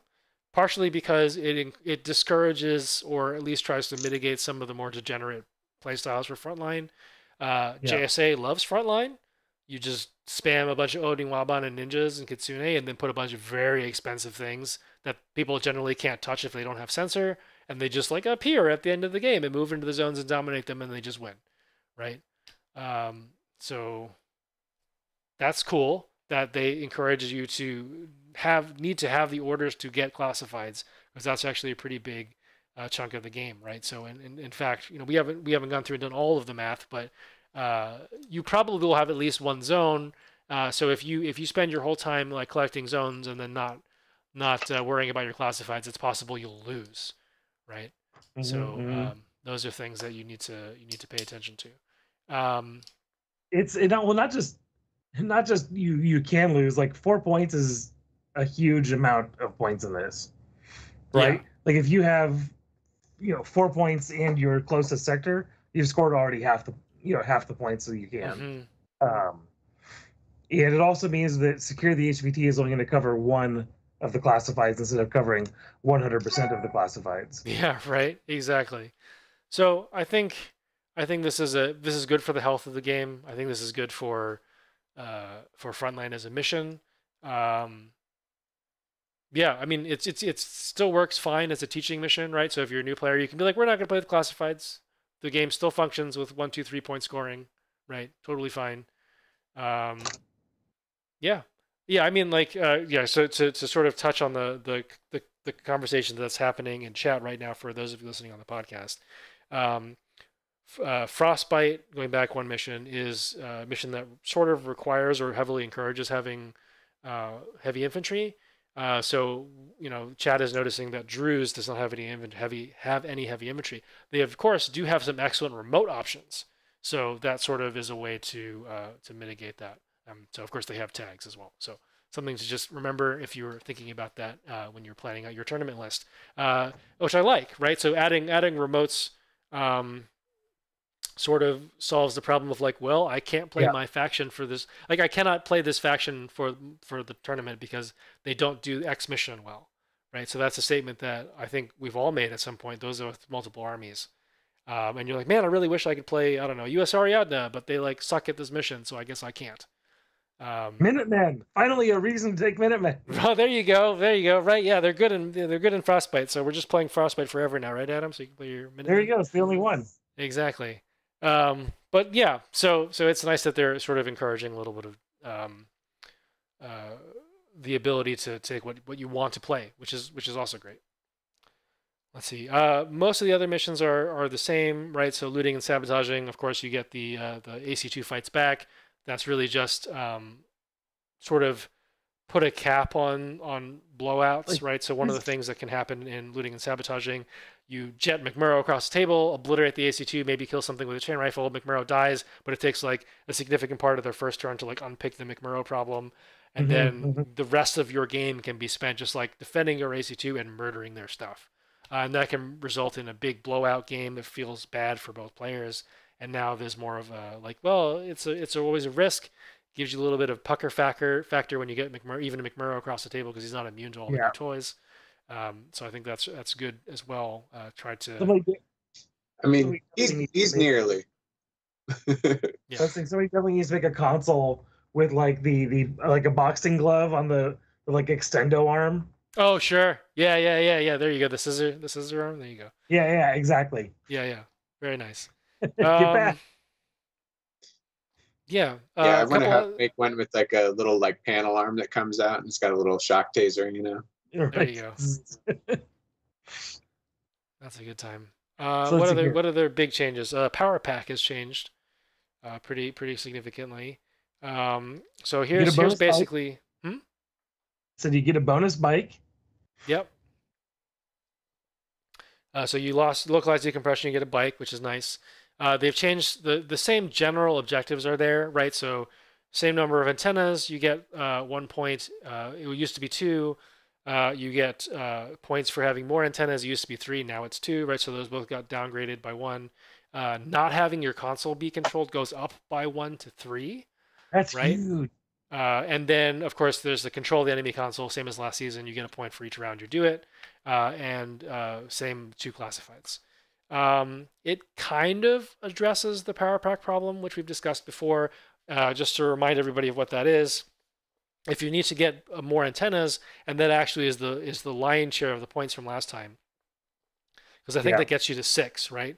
Uh, sorry, it gets you to five because you you have more antennas and presumably you murdered anything that was on your console, so that's five points. And there's very few ways for your opponent to outpoint that. So you can play very you know non-interactively and just infiltrate like your favorite two TO specialists from your faction, right? Drop them down near the antenna, hope your opponent doesn't have sensor, and on the last turn of the game, pop them out, push both buttons on the most convenient uh, antennas, and then you've won the game, right? And that's like that feels bad. You can do it with camo token spam and Ariadna. I've done it to Adam, um, and it's just like, Yeah. well, this is this feels bad. Like I didn't bring sensor, right? So we've talked a lot about how sensor is relevant. You should still bring it, right? It makes you it makes you uh, have more options on the table, so it's, that's good. Um, but this kind of addresses it. I don't think it's still uh, it's not it's not a perfect fix, but it's definitely helpful. Really, what it translates to is you need to pay attention to the objectives now. So, uh, sorry, the classified objectives now, which you didn't really have to before. So, um, let's say you do the thing where you do the TO trick, right? Where you're like, all right, I have two TO guys. They push the buttons at the end of the last turn. Uh, and presumably, you spent the previous, you know, couple of turns just murdering anything on your console. Um, that probably means you weren't going after their console either. So you get your your two points for having more antennas. You have three points for having your console not be controlled. So that's five points. They also have presumably kept you off their console all game, and at the end of the game, they get three points for that as well. And if they like bothered to get classified, they're at five. Now it's a tie right? So Yeah, if if yeah. if you if you manage to sort of like keep everybody boxed into their half of the table, and then at the end you control the antennas, right? The antennas are still important because they will swing the game one way or the other. Uh, but you can you can you know play the you can uh, also play the non-interactive thing and sort of say like, well, I'm just like not going to deal with you. You can have the buttons. I'll get my classifieds and make sure you're off of my console, right? So uh, I think really what this what this boils down to, if you want to get a very high objective point game, you have to engage with the consoles. Is basically what it boils Yeah. down to. Um, so well, so that pretty cool. console on turn three is a four point console. four point swing. Yeah, they lose three points, you gain one. So that that definitely will flip most Well- games in your favor. Yeah, exactly, exactly. Yeah. So, I mean, a, that's a big deal. yeah, that's pretty cool, right? So so actually, let's let's do that, right? So if if they if they do the, the non-interactive thing and they happen to be going first, right? You can you can airdrop something in, combat jump it in on top of the console, hope it survives, right? Uh, maybe there's a window where you can use the console as a shadow or something, uh, and then boom, you've got um, you've got you've got uh, a four point swing and you've won the game. So uh, definitely encourages people to be a little more aggressive in Power Pack. A Power Pack was also already very aggressive, but now it has like a, a purpose, and it's not just like I have a you know Tohaa loves Power Pack because you can just spam impersonators and like really attack the entire surface area. Like the, the like the attack surface of of the deployment zones in Power Pack is very large, and uh, very few armies can can exploit it as well as Tohaa can. Obviously, like you know, assassins can as well, but assassins don't. Uh, Fidays aren't two wounds, so so that's a big deal. Um, and then of course Tohaa has excellent uh, infiltrators as well, right? So does assassins, but you, you get my point.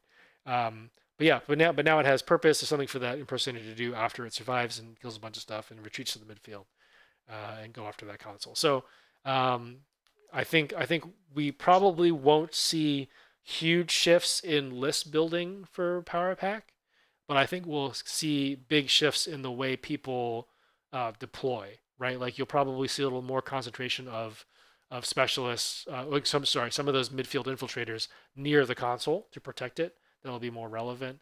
Uh, and then you know maybe maybe people will try to uh, engage in a different line of play than just doing the TO camo like impersonator pop out. Oh, sorry, TO camo infiltrator pop out at the end.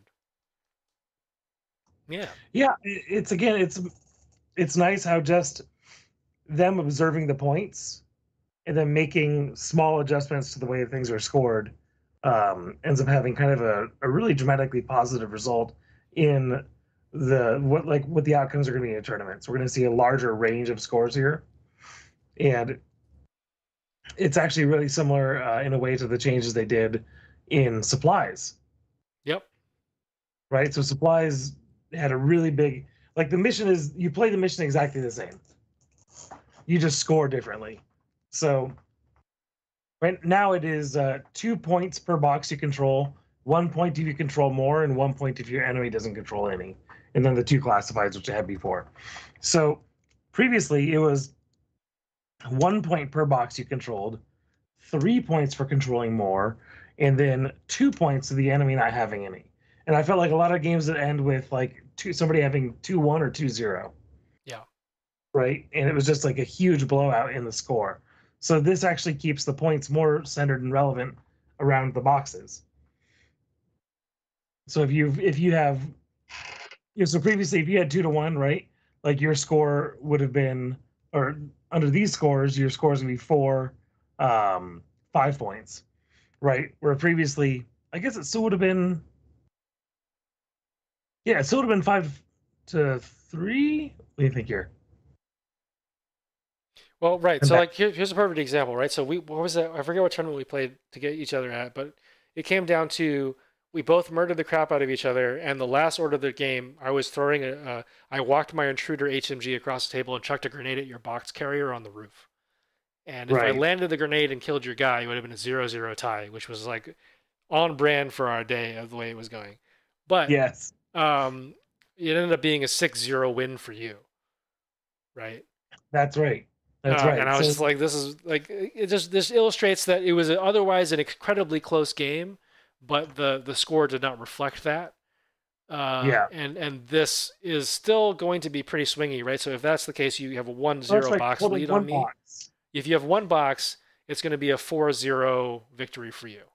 Yeah, which is which is six- is better than a than, than a full on 6-0 because in the current tournament system that would be you know a, a five five TP win right for you just Yeah. for having one box to my zero uh, which is which is still which is still nice yeah exactly right so as Clint says no offensive point for the for the five uh, OP or more so I, I, also I think that it also means that if your opponent's able to scrape out those two classifieds, uh, it gets uh, them one TP for the uh, you know the Right. defensive bonus. Yeah, exactly. So if you yeah, that's a great point. So if you can't if you can't pull the uh if you can't pull the the box away from your opponent and there's just like stuff in the middle or something, uh it's it's you can actually get a 4-2 loss, which gives them 4 TP and you 1 1 TP, which is which is good.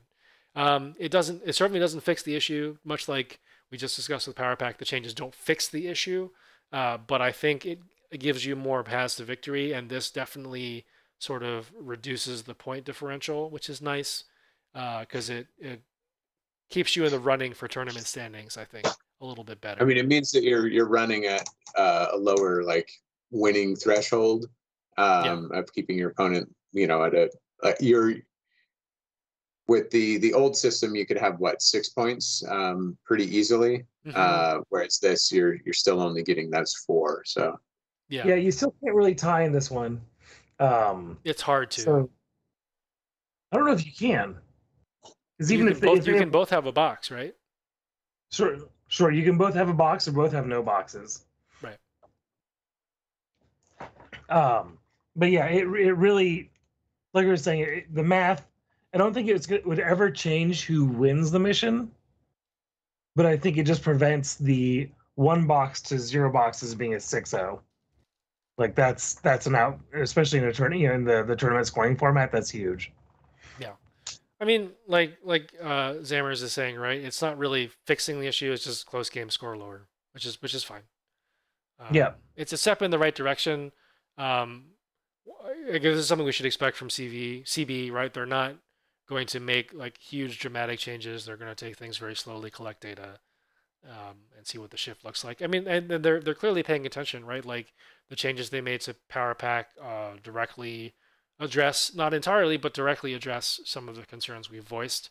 Uh, you know, who's to say if they were paying attention to us specifically, but presumably they saw some some some feedback in some form, maybe from us or from other people, or just from tournament data or their own playtesting, that said they needed to make a change. So, um, yeah, Right? They were able, they were able to see the math in action and be like, "Huh, this Yeah. math is really great."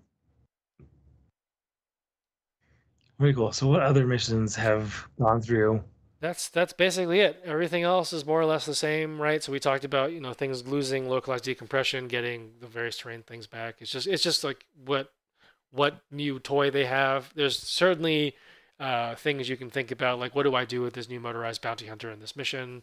Um, usually it's go Right, fast, push right. button or something. Like it's it's it's it's not a bad thing. Uh, I I do think uh, I guess just generally as somebody who has played a lot of bikes, and I don't know if Aaron, if you want to chime in with any any hot hot tips for for folks out there listening. Um, you know, it, it is it is very uh, tempting to aggressively run your bike out, especially now you're like it's got mimetism and it's got it's got the ability to be in cover, so it's going to be on great odds in firefights and stuff. Like, well, sure, but Pano exists, right? So you you you will you will yeah exactly right. The mimetism minus three is not going to save your ass, as Aaron says. So um, yeah, like there are they are more durable, no question. They are very fast specialists, no question, and you should treat them like fast, fragile specialists with a little bit of veneer of defense, right? Like uh, I see them as being able to respond. They're like either you can think of them either as a rapid reaction force to apply pressure or firepower, depending on what gun you have, quickly, which is nice. Uh, certainly, things like the Lawkeeper are very interesting now, right? Um, yeah, so those are those are good, uh, but I, I don't I don't think this is a, like I, I guess the, what I'm trying to say is I, I believe you will be disappointed if you put a bike on the table like and you like if you've never played with bikes before and you're like no I've got this MBH I'm gonna put it on the table it's gonna ruin everybody and I'm gonna be in the deployment zone chain rifling everything ah um yeah so that's probably not what's going to be happen that probably won't be your experience uh, unless you're playing in a field of like very new people or something who aren't who aren't used to that kind of aggression um, so you know if you play them carefully, they will really reward you by able by being able to thread the needle.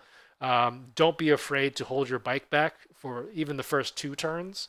Uh, that speed will absolutely pay for itself in spades when your order pool is depleted on the third turn. When you really need to get that button press in or something like that, that's a big deal. Um, so definitely think about that. Bikes are really good counter strike units. Yeah. hmm when somebody when somebody overextends a unit into the midfield and isn't watching its back as well, or you know, there's an angle you can get on it that's really nice. That bike can do that in in its one order, you know, in Yeah. its impetuous order or in its own regular order. If you're uh, going the route of cover, which you might want to, um, Yeah. Yeah, you might get So- something cool on the booty chart as well.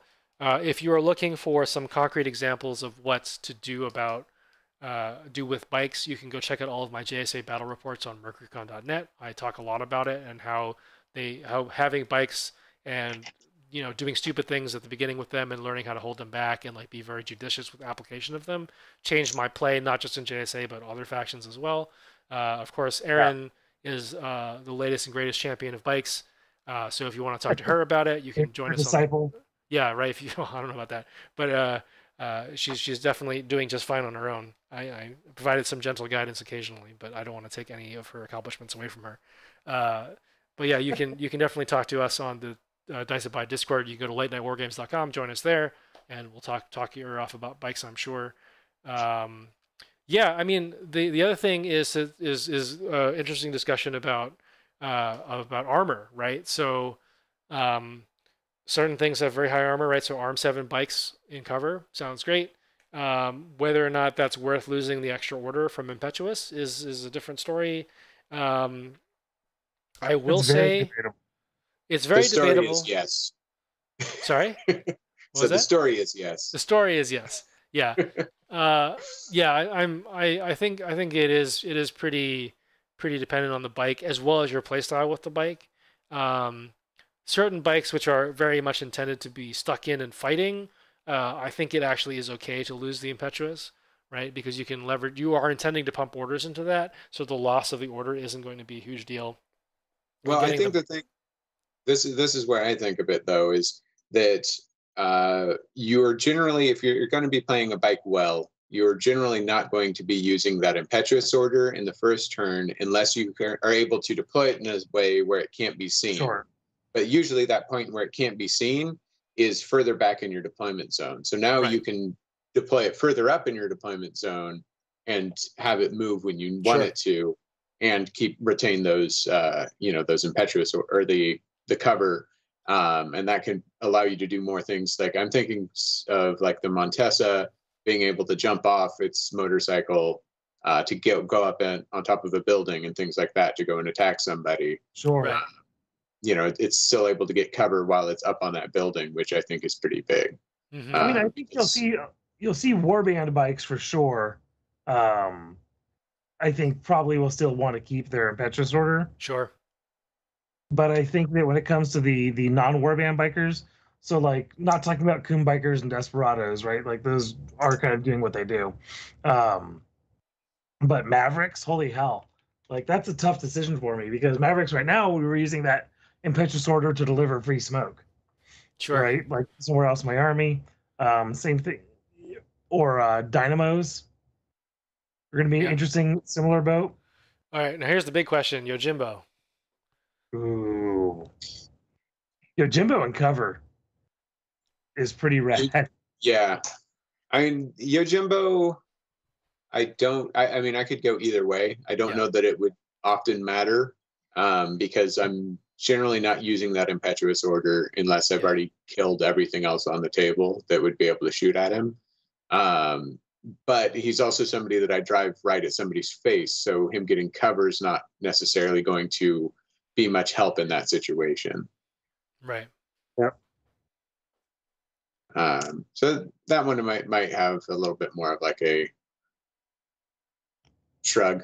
I don't That's know. a, Flip a I coin. think a- that's a debatable one. Yeah. I mean, I, I think the answer to that one is is very table dependent. Yeah. Like if there's if there's clearly a spot where like I could be in cover and, and be shooting as burst two contender at stuff, I might I might do that, which is a bonkers thing to say, but you know. Right. Um, so yeah, I mean, I, I think I think it does uh, open up a few a few interesting questions. Uh, I'd be curious to hear what people think about it. Um, you know, you're just just because it's not a Bromad Academy mission or something doesn't mean I won't post a battle report. So if you have thoughts or you want to share them and post them and have me publish them, I'm more than happy to do that. Um, yeah. So I mean, yeah, exactly. You get to choose a deployment. So as as Isaac is saying, right? So just just pick what you want and do the thing. Um, it's it's really up to you, your play style. Uh, really, just uh, I, I think the big takeaway is um, even though it's free, that doesn't necessarily mean you should treat it as expendable, right? Um, Yep. I think a lot of people will be like, "I got a free thing. I'm just gonna missile it and see what happens," and then and then like they won't get the results they want because they got a, they took a bad hit or something.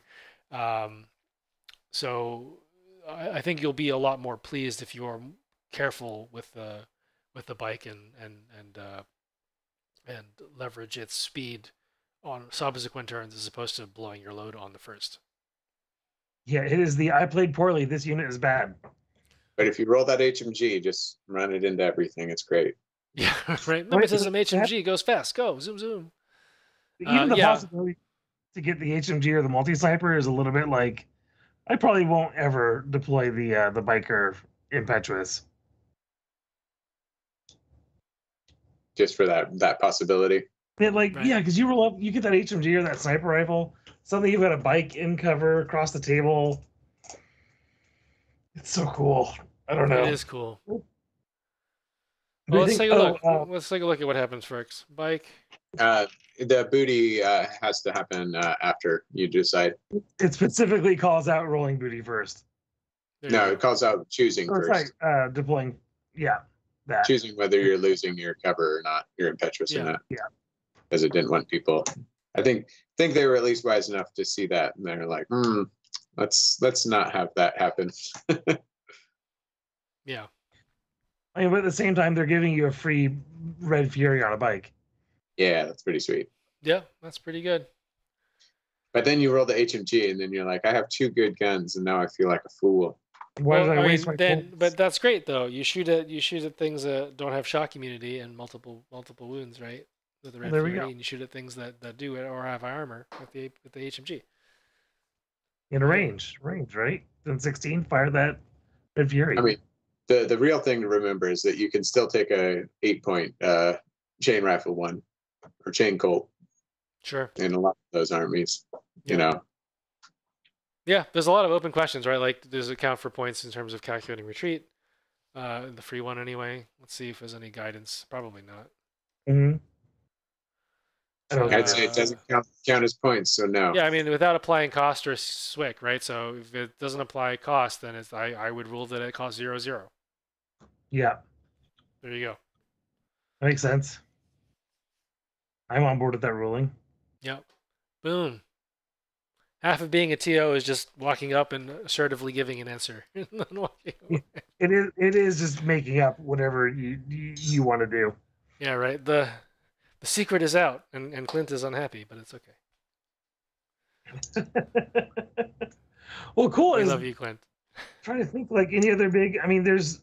I feel like that we could probably do in the in the not terribly distant future an episode on just talking about bikes and going through the different bikes and the different factions because like there's so many different tricks and that you can do Sure. now. Um, I mean, just the Aragoto Killer Hacker is just the uh, just the meanest. All right. Well, if we if we do do that episode, you're gonna have to make a uh, like a like a BMX tricks thumbnail or something Oh yeah, extreme. with the X No- Games, wherever it is, right? No E, it's a really big X. Yeah, yeah. When it gets fact, we can get fact with Clint. There we go. I guess the real question is what happens in Annihilation when it dies? Sure. It's not. It's zero points. It's not annihilated. Yeah, doesn't Yeah. count. Can't annihilate it. So Um, yeah, but just take the most expensive one because it's the best, obviously. Uh, I don't. To answer the question in chat, I, I'm not sure when the uh, the the FAQ is scheduled to drop. So. Uh, yeah. No idea. Yeah, no idea. If they've said anything, we, we haven't seen it. Um, but Zondnautica are great. Uh, I I would I would uh, encourage you strongly to play them in Vanilla Nomads. They are probably my favorite specialists in Vanilla Nomads because they go real fast and they do all the things. So Them getting terrain seems like a, a lot of fun to me yeah, too. Does it? How, yeah, that'll be interesting. When does that apply to both the the writer and the bot, uh, or is it only the bot? not sure. Not getting impetuous or getting cover, you mean? Yeah, the uh, no, the uh, like the mimetism. The Well, I think they both already have uh, mimetism. Yeah, And they I think do. the- It specifically says troopers mounted on a motorcycle or an AI motorcycle can benefit from mods for partial cover. So troopers mounted on the motorcycle. So Okay. I guess that would be not the motorcycle. Right. So what about the? Um, oh, oh, oh, oh. Specifically, total? Okay. So I think I think when you when you break them up, they're no longer motorcycles, right? They become the right. So like Yeah. uh, the the, bo- the Oh. motorcycle becomes a robot, and the dude is has always been a dude.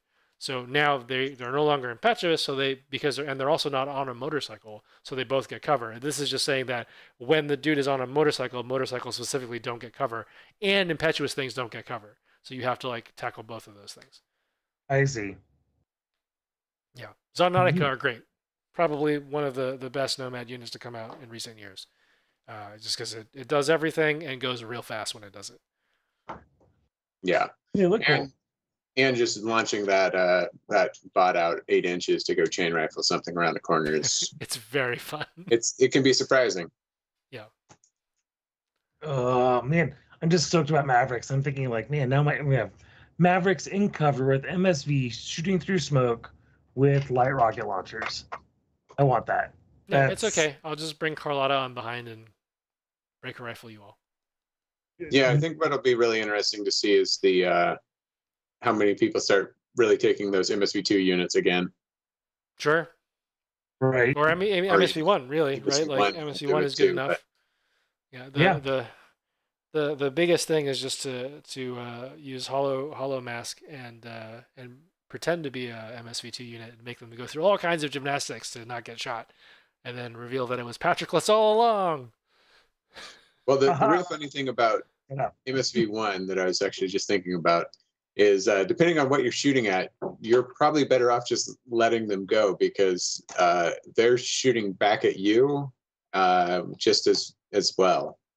Uh, if they're Right. shooting, if you're shooting them through smoke. Hmm.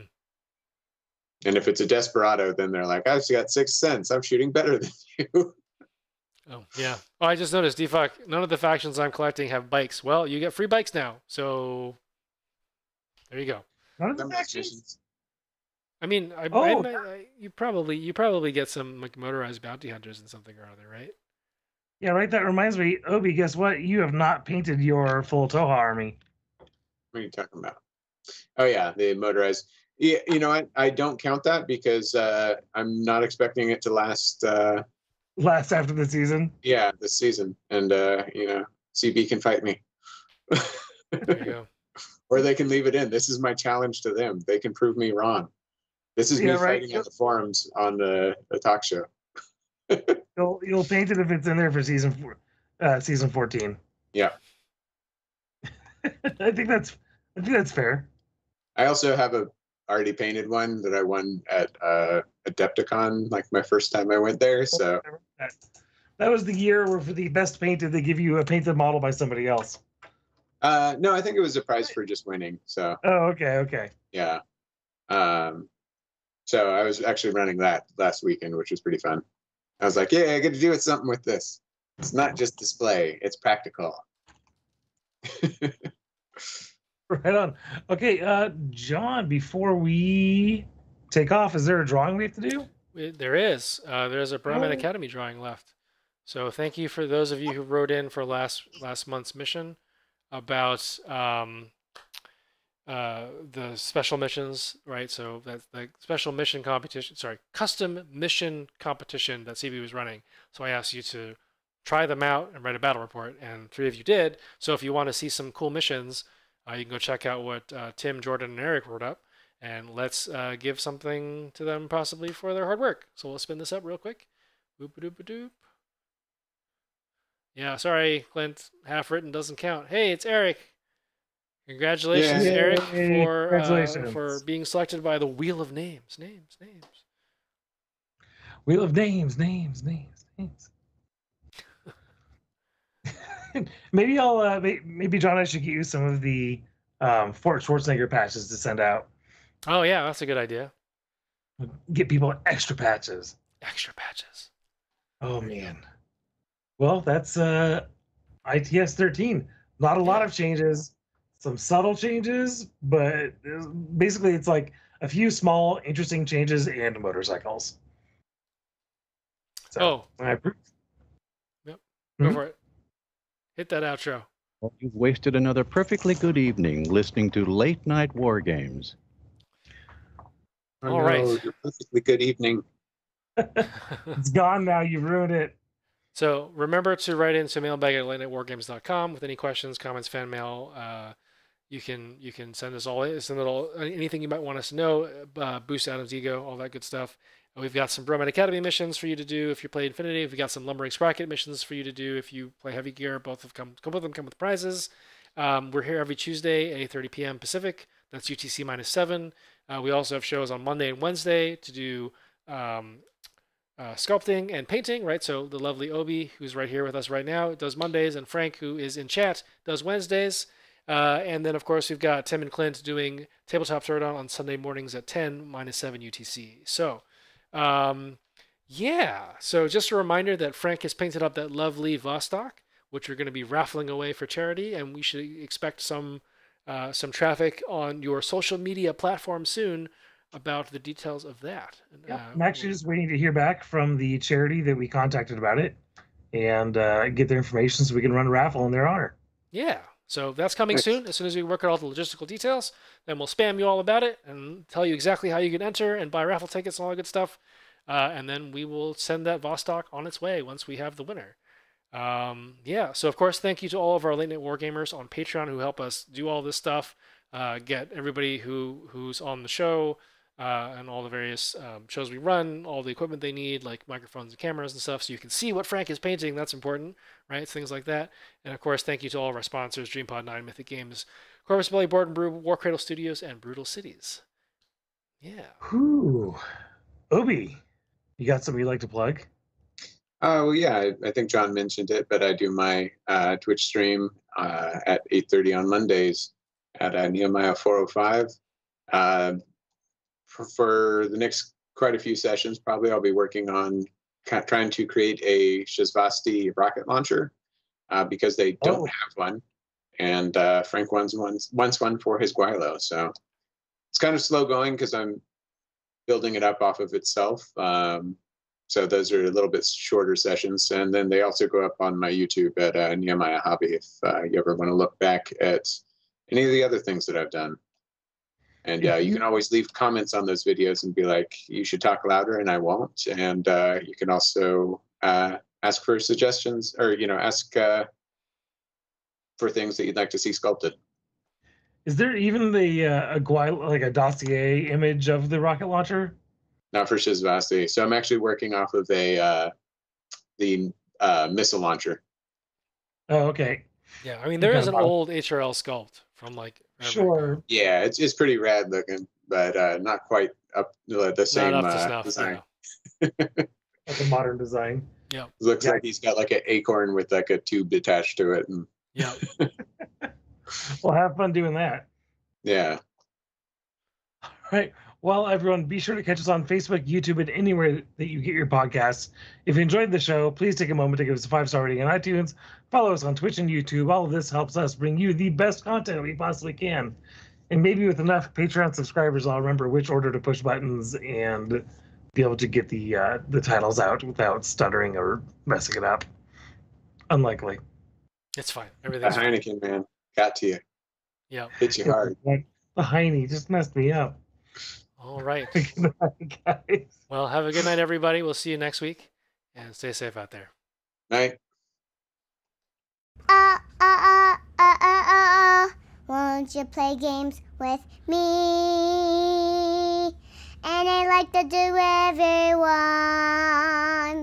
That's what I like to do. That's what I like to do. That's what I really like to do. That's what I really like to do.